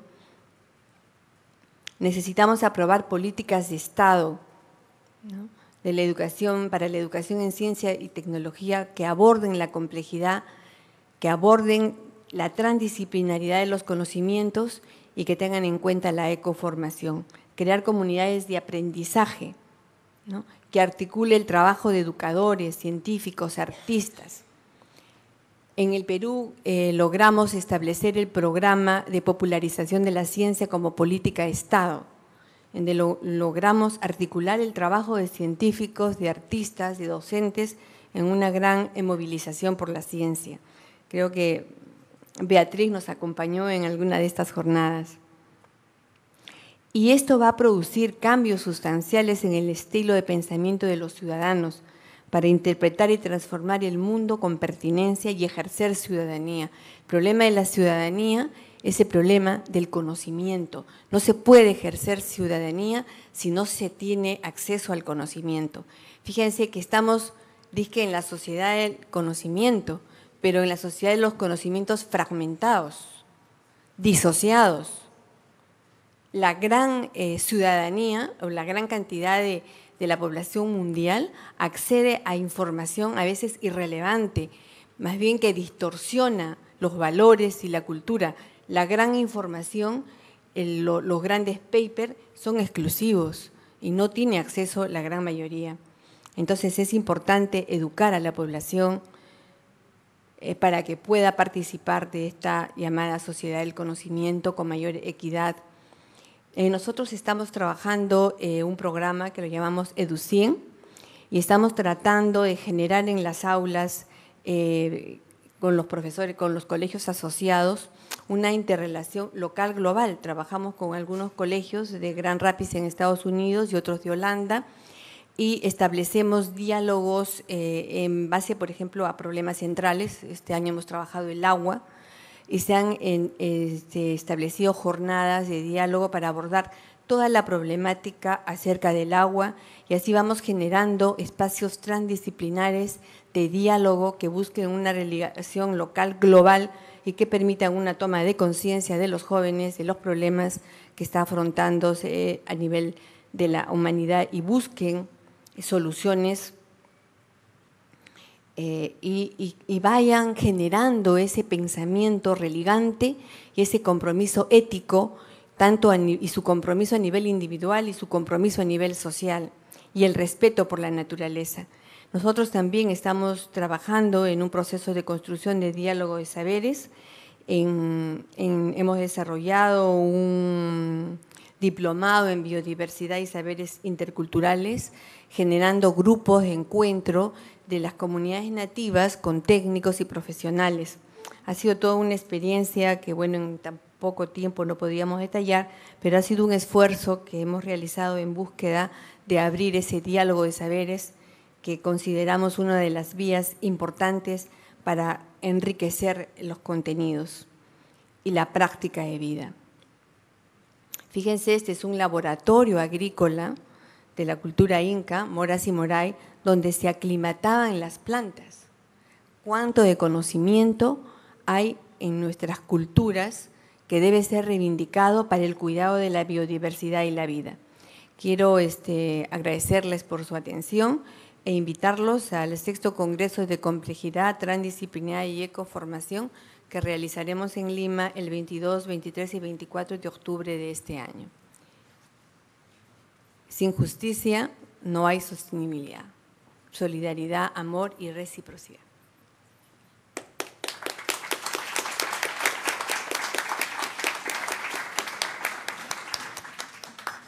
Muchas gracias. Eh, pasamos ahora a escuchar la exposición de Alicia Aklan de El IPA. Bueno, en primer lugar, quiero agradecer la invitación. Este, y me resulta muy grato estar acá, compartir algunas experiencias que ahora como ustedes van a ver, eh, dirijo la respuesta a las preguntas que nos reúnen en el panel hacia actividades concretas, actividades de aula, en la formación de, profesores y de maestros. Eh, a esta... Primero quiero comentar algo. Eh, la formación que he llevado adelante fue fundamentalmente una formación muy pegada al estudio, a lo libresco, al marco teórico, pero como que tenía que en algún momento resolver esa cuestión de intervenir en la práctica y lo mejor era intervenir en la práctica de aula, que fue la actividad que me ha llevado toda la vida. con respecto a la primera pregunta, ¿cómo cree usted que la concepción de ciencia interviene en los aprendizajes? Este, tomo una entrevista, un trocito de una entrevista que se le hiciera en el año 95 a Thomas Kuhn eh, en Atenas, donde él está comentando su acercamiento a Piaget y, lo que está en rojo creo que es lo, que, lo que explicita el mismo Kuhn, que le preocupa. Eh, los niños aprenden al modo que aprenden los científicos, pero no es un, aprendizaje espontáneo, sino que es un aprendizaje con aquello que se ha seleccionado para ser enseñado, con lo que está disponible para ser enseñado. Y el mismo Kuhn en este año dice, yo no me daba cuenta de lo relevante que era esta cuestión de la selección del conocimiento para ser enseñado, eh, creo que el mismo Piaget tampoco lo tenía bien claro. entonces acá ya está marcando una respuesta en parte a esa pregunta, en, la, eh, en relación a, lo pertinente que hemos seleccionado. Yo vengo del área de la enseñanza de la física en la educación media y eh, fui entrando en la enseñanza terciaria, en la formación de profesores y ahora les lo que quiero, la otra parte de la, respuesta a esa pregunta viene con un ejemplo que fue una experiencia que realizamos en el 2008 en los institutos normales de Montevideo, en un curso de tercer año, el taller de ciencias naturales. Lo que estábamos tratando era de indagar cómo el estudiante percibía una determinada lectura científica este, desde la formación. Estaban en tercero, habían tenido cursos sobre epistemología, eh, se habían hecho revisiones y se tomó este artículo de Thomas Eisner que, donde él detalla su vida en relación a sus estudios científicos y cómo termina trabajando con el escarabajo bombardero evidentemente yo de física estas temáticas específicas eh, no las tenía, no las sabía y aprendí junto con los estudiantes. Por eso fui entrando en estas cuestiones de la participación eh, docente-estudiante.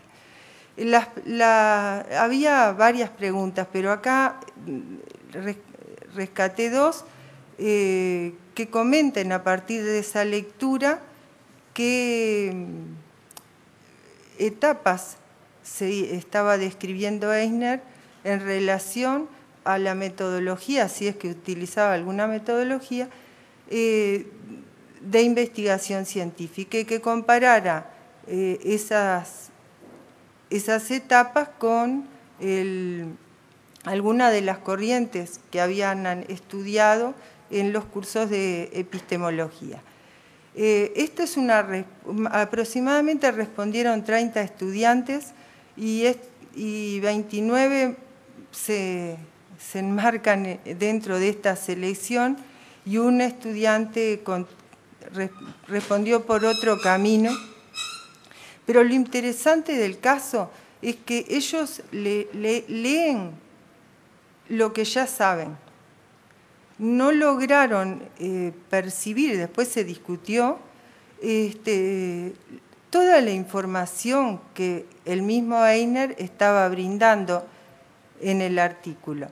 Información referida a cómo se involucra con la investigación, cómo llega el escarabajo bombardero a través del olor, eh, eh, el olor eh, relacionado con el perfume del padre como químico, si había toda una cuestión contextual explicitada en el trabajo que, no, no, fue percibida. Entonces, de alguna manera, la respuesta a esa pregunta viene enmarcada en, eh, en, que las concepciones que nosotros vamos adquiriendo, ya sea en la, institución educativa, eh, en un sentido amplio, en los procesos de socialización que nos van determinando, eh, va a ir sesgando inevitablemente todo lo que vayamos aprendiendo.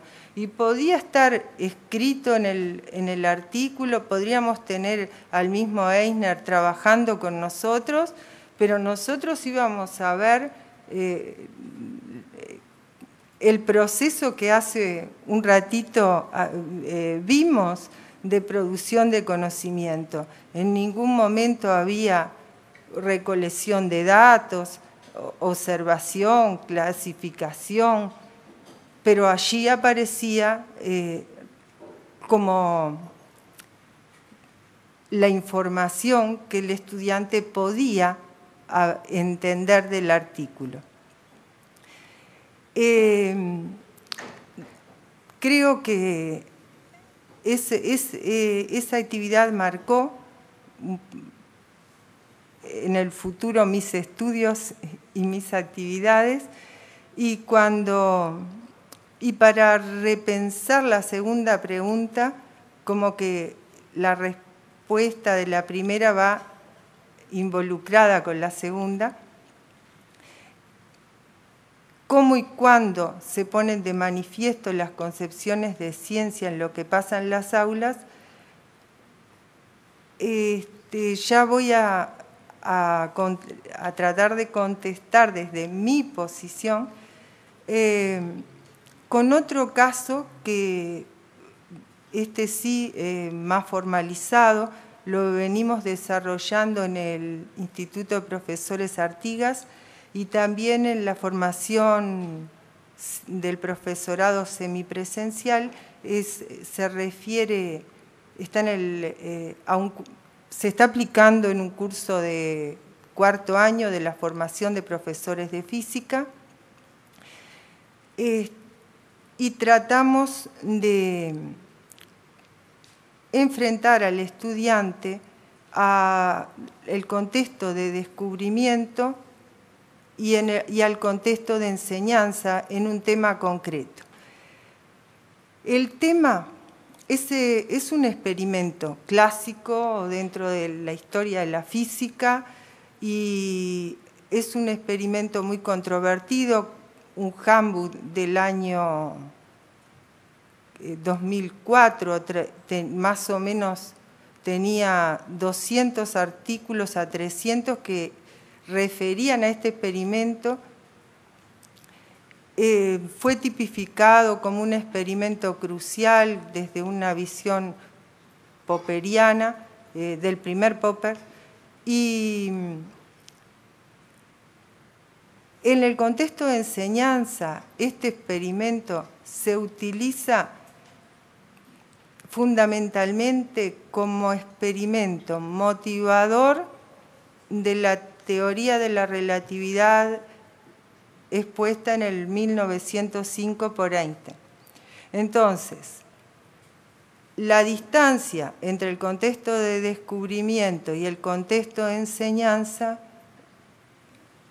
eh, está separada no solo por el tiempo, sino, eh, vamos a ver, por el modo de entender la distancia entre esos dos contextos que particularmente estamos tomando. En el contexto... Ay, en el contexto, los autores de ese experimento, lo que muestran las figuras, eh, que son dos simuladores, es en esencia cómo es el experimento, pero lo dejaré, lo dejaré para más adelante si es que a alguien le interesa profundizar, pero lo que importa acá es que en ese contexto la publicación original de 1887, los, autores del experimento nos muestran una duda interesante porque ellos dicen, este experimento dio nos dio este resultado y por lo menos tres teorías estarán en juego para explicar estos resultados. Eh, Cuando, indagamos con los profesores que dictan los cursos que involucran este contenido, los profesores entienden el experimento como lo han aprendido en los textos, en su propia formación. De pronto, acá tenemos un segmento, el experimento es un experimento crucial, clave en la historia de la ciencia. Este, lo usamos como excusa para enseñar la teoría de la relatividad. Es decir, los profesores son conscientes de que esa forma de organizar el conocimiento les está haciendo debido a que entienden que es el camino más sencillo para el estudiante. Lo mismo pasa con los textos. En el contexto de enseñanza, los textos eh, dicen lo que los profesores dicen. Este es un texto, el Resnick es un texto muy utilizado en nuestro medio. Eh, bueno, acá, eh, ya lo comenté, esta, esta imagen que acabaron de ver también Está tomada de un sitio de educación media de Argentina. Yo no sabía que iba a tener a Duris al lado mío, pero este, se reproduce esa, con el afán de facilitarle al estudiante el aprendizaje de un determinado conocimiento, estamos cayendo en reproducir lo que llamamos la imagen heredada de la ciencia, la ciencia de lo cotidiano, lo que está más cerca de todos, reproducimos el sentido común en la ciencia. Y la idea justamente es enfrentar al estudiante a que reconozca este proceso. ¿Cómo lo hacemos? Eh, una, eh, evidentemente no puedo contar todo, pero lo que seleccioné allí es que una instancia en que los estudiantes están trabajando con lo que es el interferómetro de Michelson, que viene a ser algo que deriva de ese experimento de 1887 que tiene otros usos hoy y otro instrumental, pero tiene la misma lógica eh, experimental. Entonces, los estudiantes comparan y discuten y toman medidas y ven las diferencias entre ese experimento en un contexto y en otro. ¿A qué, eh, ¿a qué va? Es enfrentar a, los estudiantes. A, eh, enfrentarlos a dos léxicos, a dos teorías científicas que usan los mismos términos. Una teoría que utiliza el término masa en un contexto y otra teoría que utiliza el método masa en, el contexto de la relatividad especial. Es decir, son términos que se escriben igual, pero en el marco de teorías diferentes tienen significaciones diferentes. Eh, todo eso se va discutiendo. Este, acá nos muestra un poco lo que el mismo Kuhn, Thomas Kuhn nos cuenta, que cuando él se enfrenta a tener que dar un curso sobre la física aristotélica, él empieza a indagar los textos aristotélicos y les parece que son textos plagados de errores tanto lógicos como de observación. Eh, ante el, el, peso de las teorías aristotélicas, él dice, no puede ser lo que yo estoy entendiendo, tiene que haber otra manera de entender esto. Y de alguna manera él dice, en un momento dado veo las piezas organizándose como se organiza un rompecabezas y entiendo y logra captar el sentido del movimiento en Aristóteles frente al sentido de movimiento de la física que le había sido formado.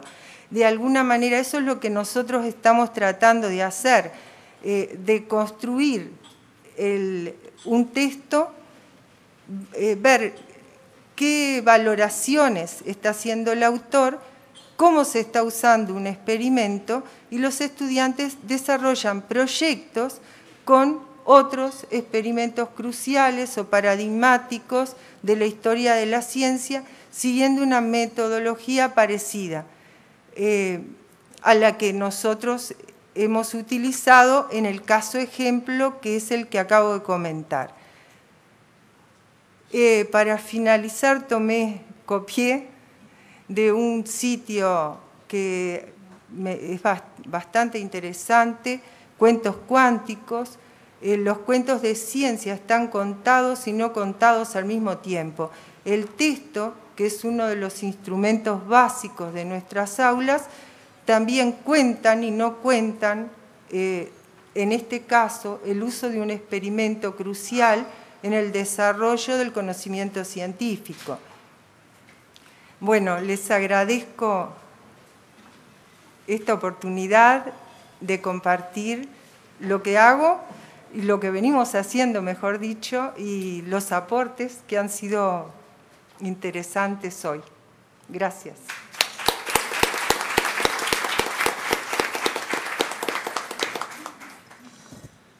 Muy bien, muchas gracias a todos los expositores.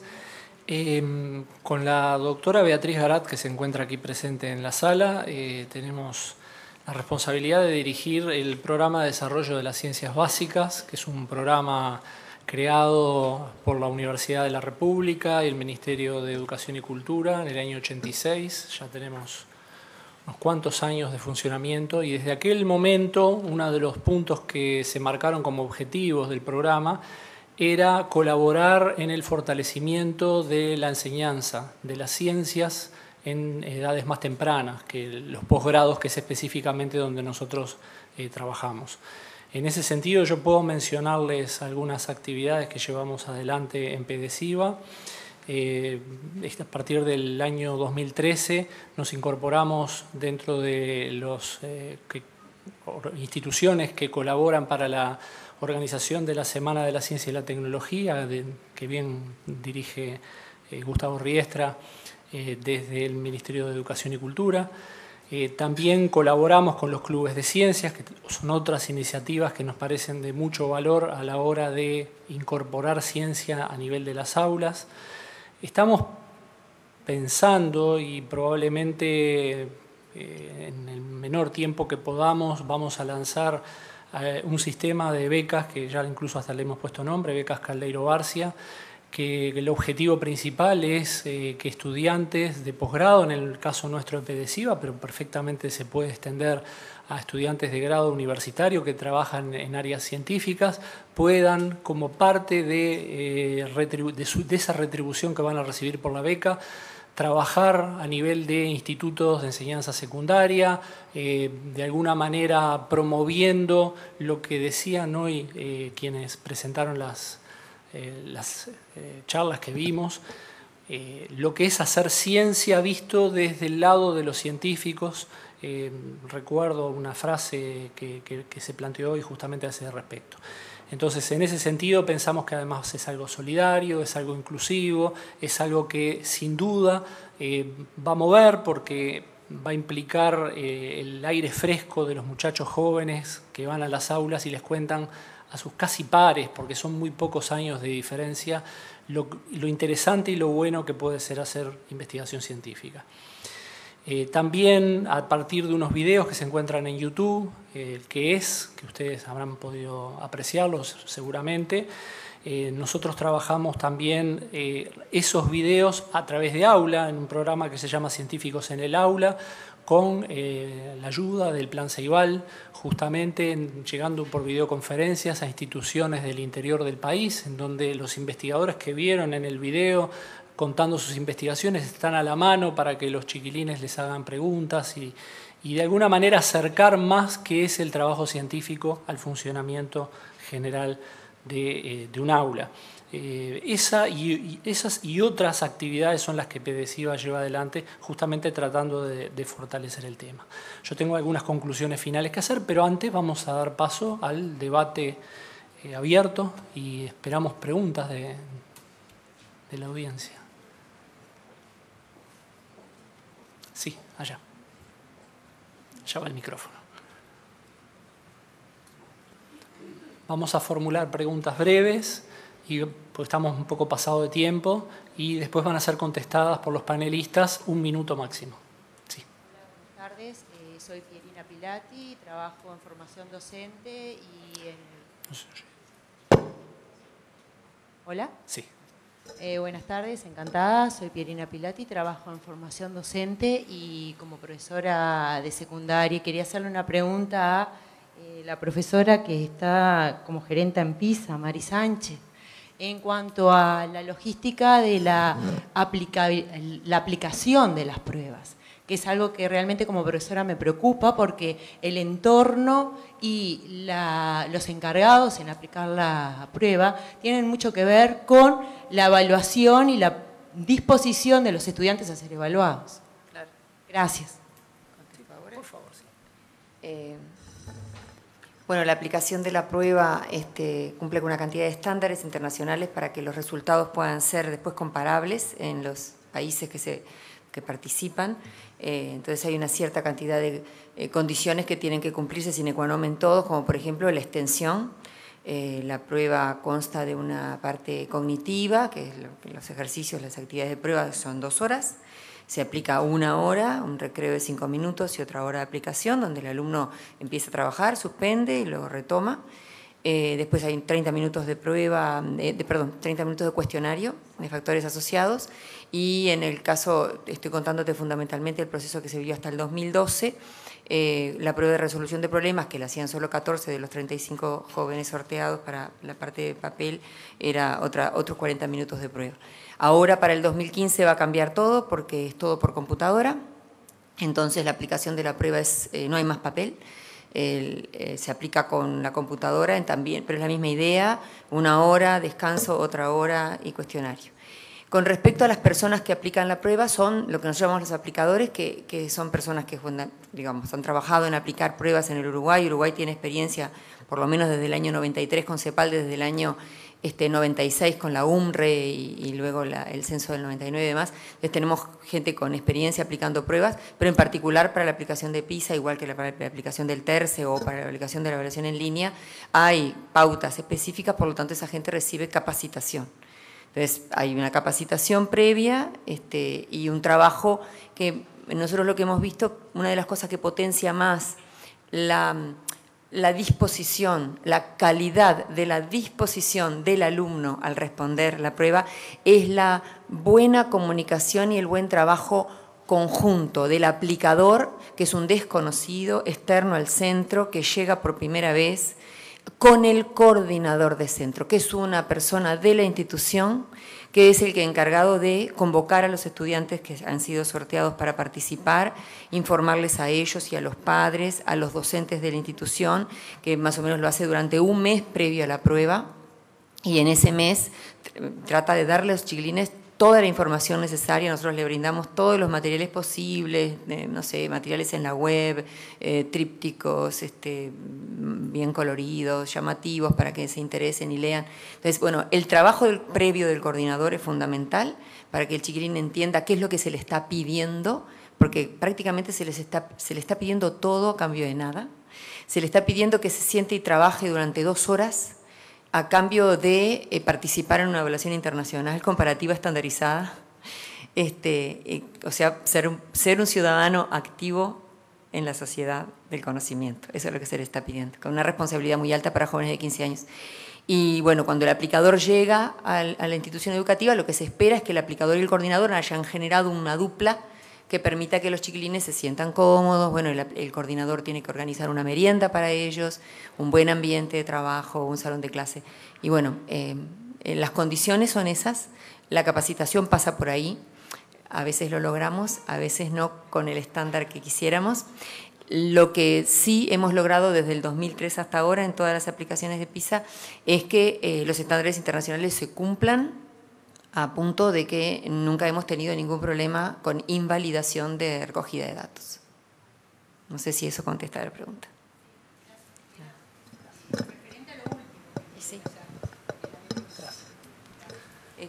Hay una pregunta. Bueno, yo quisiera hacer una pregunta a, Duris Bravo. En realidad eh, me hubiera gustado podérsela hacer a, a, Torre, a Martínez, este, a Joaquín. Te la hago a ti en términos de que, digamos, tu, línea de comunicación fue bastante similar, con matices, pero, pero similar. Eh, según lo que plantea, eh, aparentemente habría un consenso entre los investigadores sobre la importancia del trabajo sobre las concepciones de ciencia que se traducen por parte del docente en relación a la construcción de una concepción de ciencia por parte de los alumnos, más allá de los contenidos este, que estén siendo trabajados. Mi, pregunta es eh, sobre la afirmación. Hay un consenso sobre, y ese consenso viene de parte de la investigación. La pregunta que tendría para hacer es si ese es el mismo consenso que hay en el cuerpo docente sobre las implicancias que tiene y la trascendencia que tiene tener en cuenta estos aspectos, que en general, como tú mismo dijiste, son más implícitos que explícitos. Bueno, para iniciar algo que no es exactamente la pregunta final, sino hacer el comentario inicial. No es verdad que haya tanto consenso en la comunidad, es un consenso frágil que comenzó siendo muy discursivo y argumentativo y pronto mostró una ruptura cuando hubo algo de evidencia empírica. ¿Y en qué sentido de ruptura? En el sentido de que si bien todo el mundo entiende que la educación científica de calidad para todos y todas actual debe contener una mirada de naturaleza de ciencia importante, hay una división profunda en la comunidad acerca de cómo se logra eso, si es por la inmersión en prácticas reales de ciencia, que es la línea de indagación estadounidense, un poco puesta en, valor por Martínez Torregrosa en su conferencia, o si se necesita una reflexión metateórica, explícita, lingüística, que te aleje un poco de la práctica real y más bien sea en el propio contexto de educación, y en donde se produzca una reflexión más este, afinada acerca de la naturaleza de la ciencia que no estaría reflejada en el universo erudito de los científicos en actividad. Eh, en todo caso, eso es un debate más teórico, pero mm, muestra ciertos disensos acerca del, del, primer consenso inicial de que la nueva educación científica no es solo ciencia, sino es sobre ciencia también. El consenso del profesorado creo que es diverso. Desde el punto de vista discursivo y, y de mm, y de intención creo que es alto el consenso, sobre todo en nuestros países donde los nuevos currículos eh, le dan protagonismo a esta nueva componente y las profesores y profesoras les ha gustado y han sintonizado con ella. Ahora, no sé si decir que eso ya permea las prácticas y existe en nuestras aulas. En el caso de los libros de texto sí se ven avances sustantivos y como nosotros compartimos textos a ambas orillas del Río de la Plata, la verdad que se ven que las grandes editoriales han cambiado mucho, muy profundamente esa componente en sus libros, a pesar de que el resto del libro puede mantenerse igual a como era hace 15 años. Ahora, no sabría decirte si estamos todos convencidos de, cómo se lleva esto adelante y probablemente no es culpa del profesorado, sino de todo el resto del universo, que no damos buenos ejemplos eh, curriculares, ni materiales adecuados, ni prácticas de evaluación consistentes con esto. Gracias.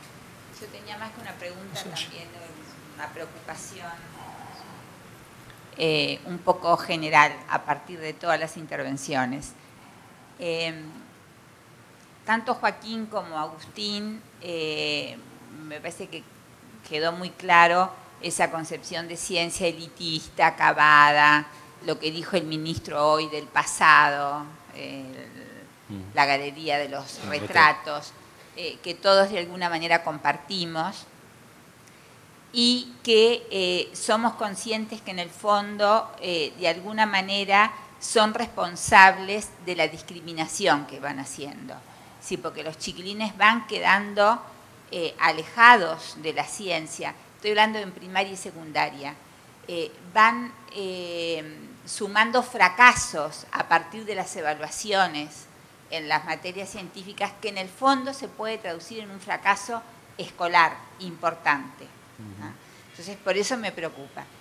Y em, después hablamos de las evaluaciones, de los marcos que tú decías, Mari, que me parece muy bien, que trabajan eh, con los docentes, los marcos de la evaluación, de la enseñanza.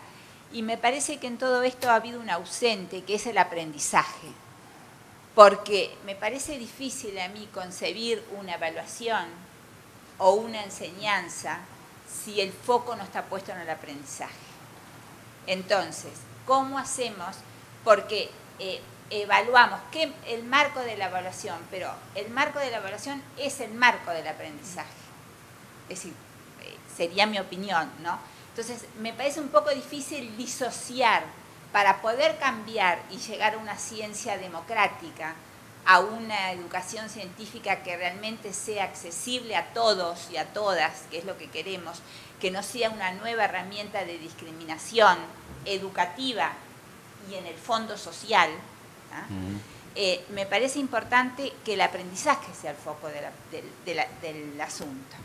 Y yo lo vi como un poco ausente. Vi la evaluación, vi la enseñanza, pero no vi la preocupación por el aprendizaje que es el alumno en acción, el alumno como protagonista, el alumno como autor. Esa sería mi preocupación.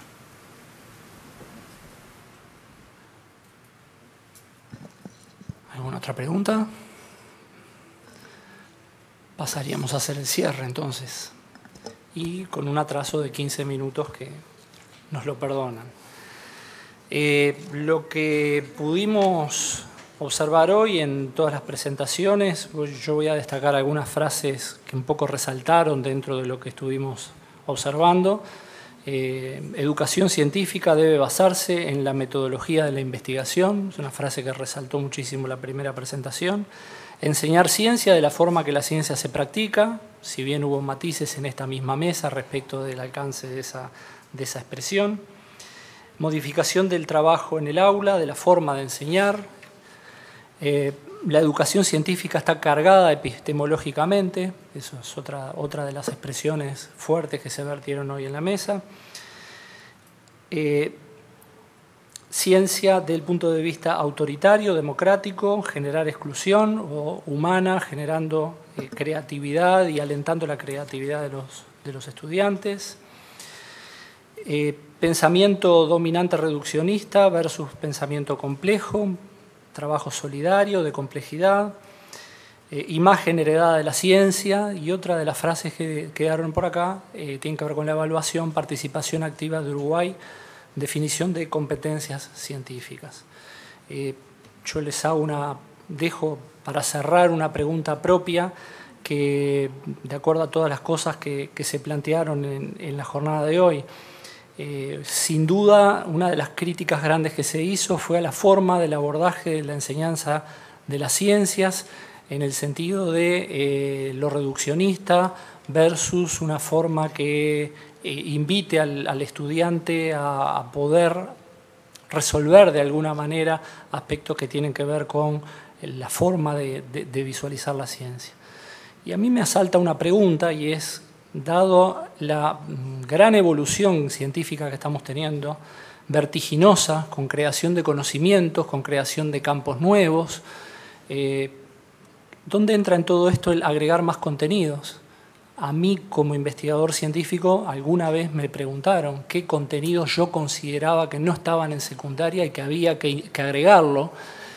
Eh, y bueno, eh, ¿es eso o es reforzar una forma de analizar y de ver el mundo con la concepción científica? Y esa es una decisión que hay que tomar porque sin duda siempre está a la hora de, de cada discusión de cómo hacer algún programa nuevo, qué tema agregamos.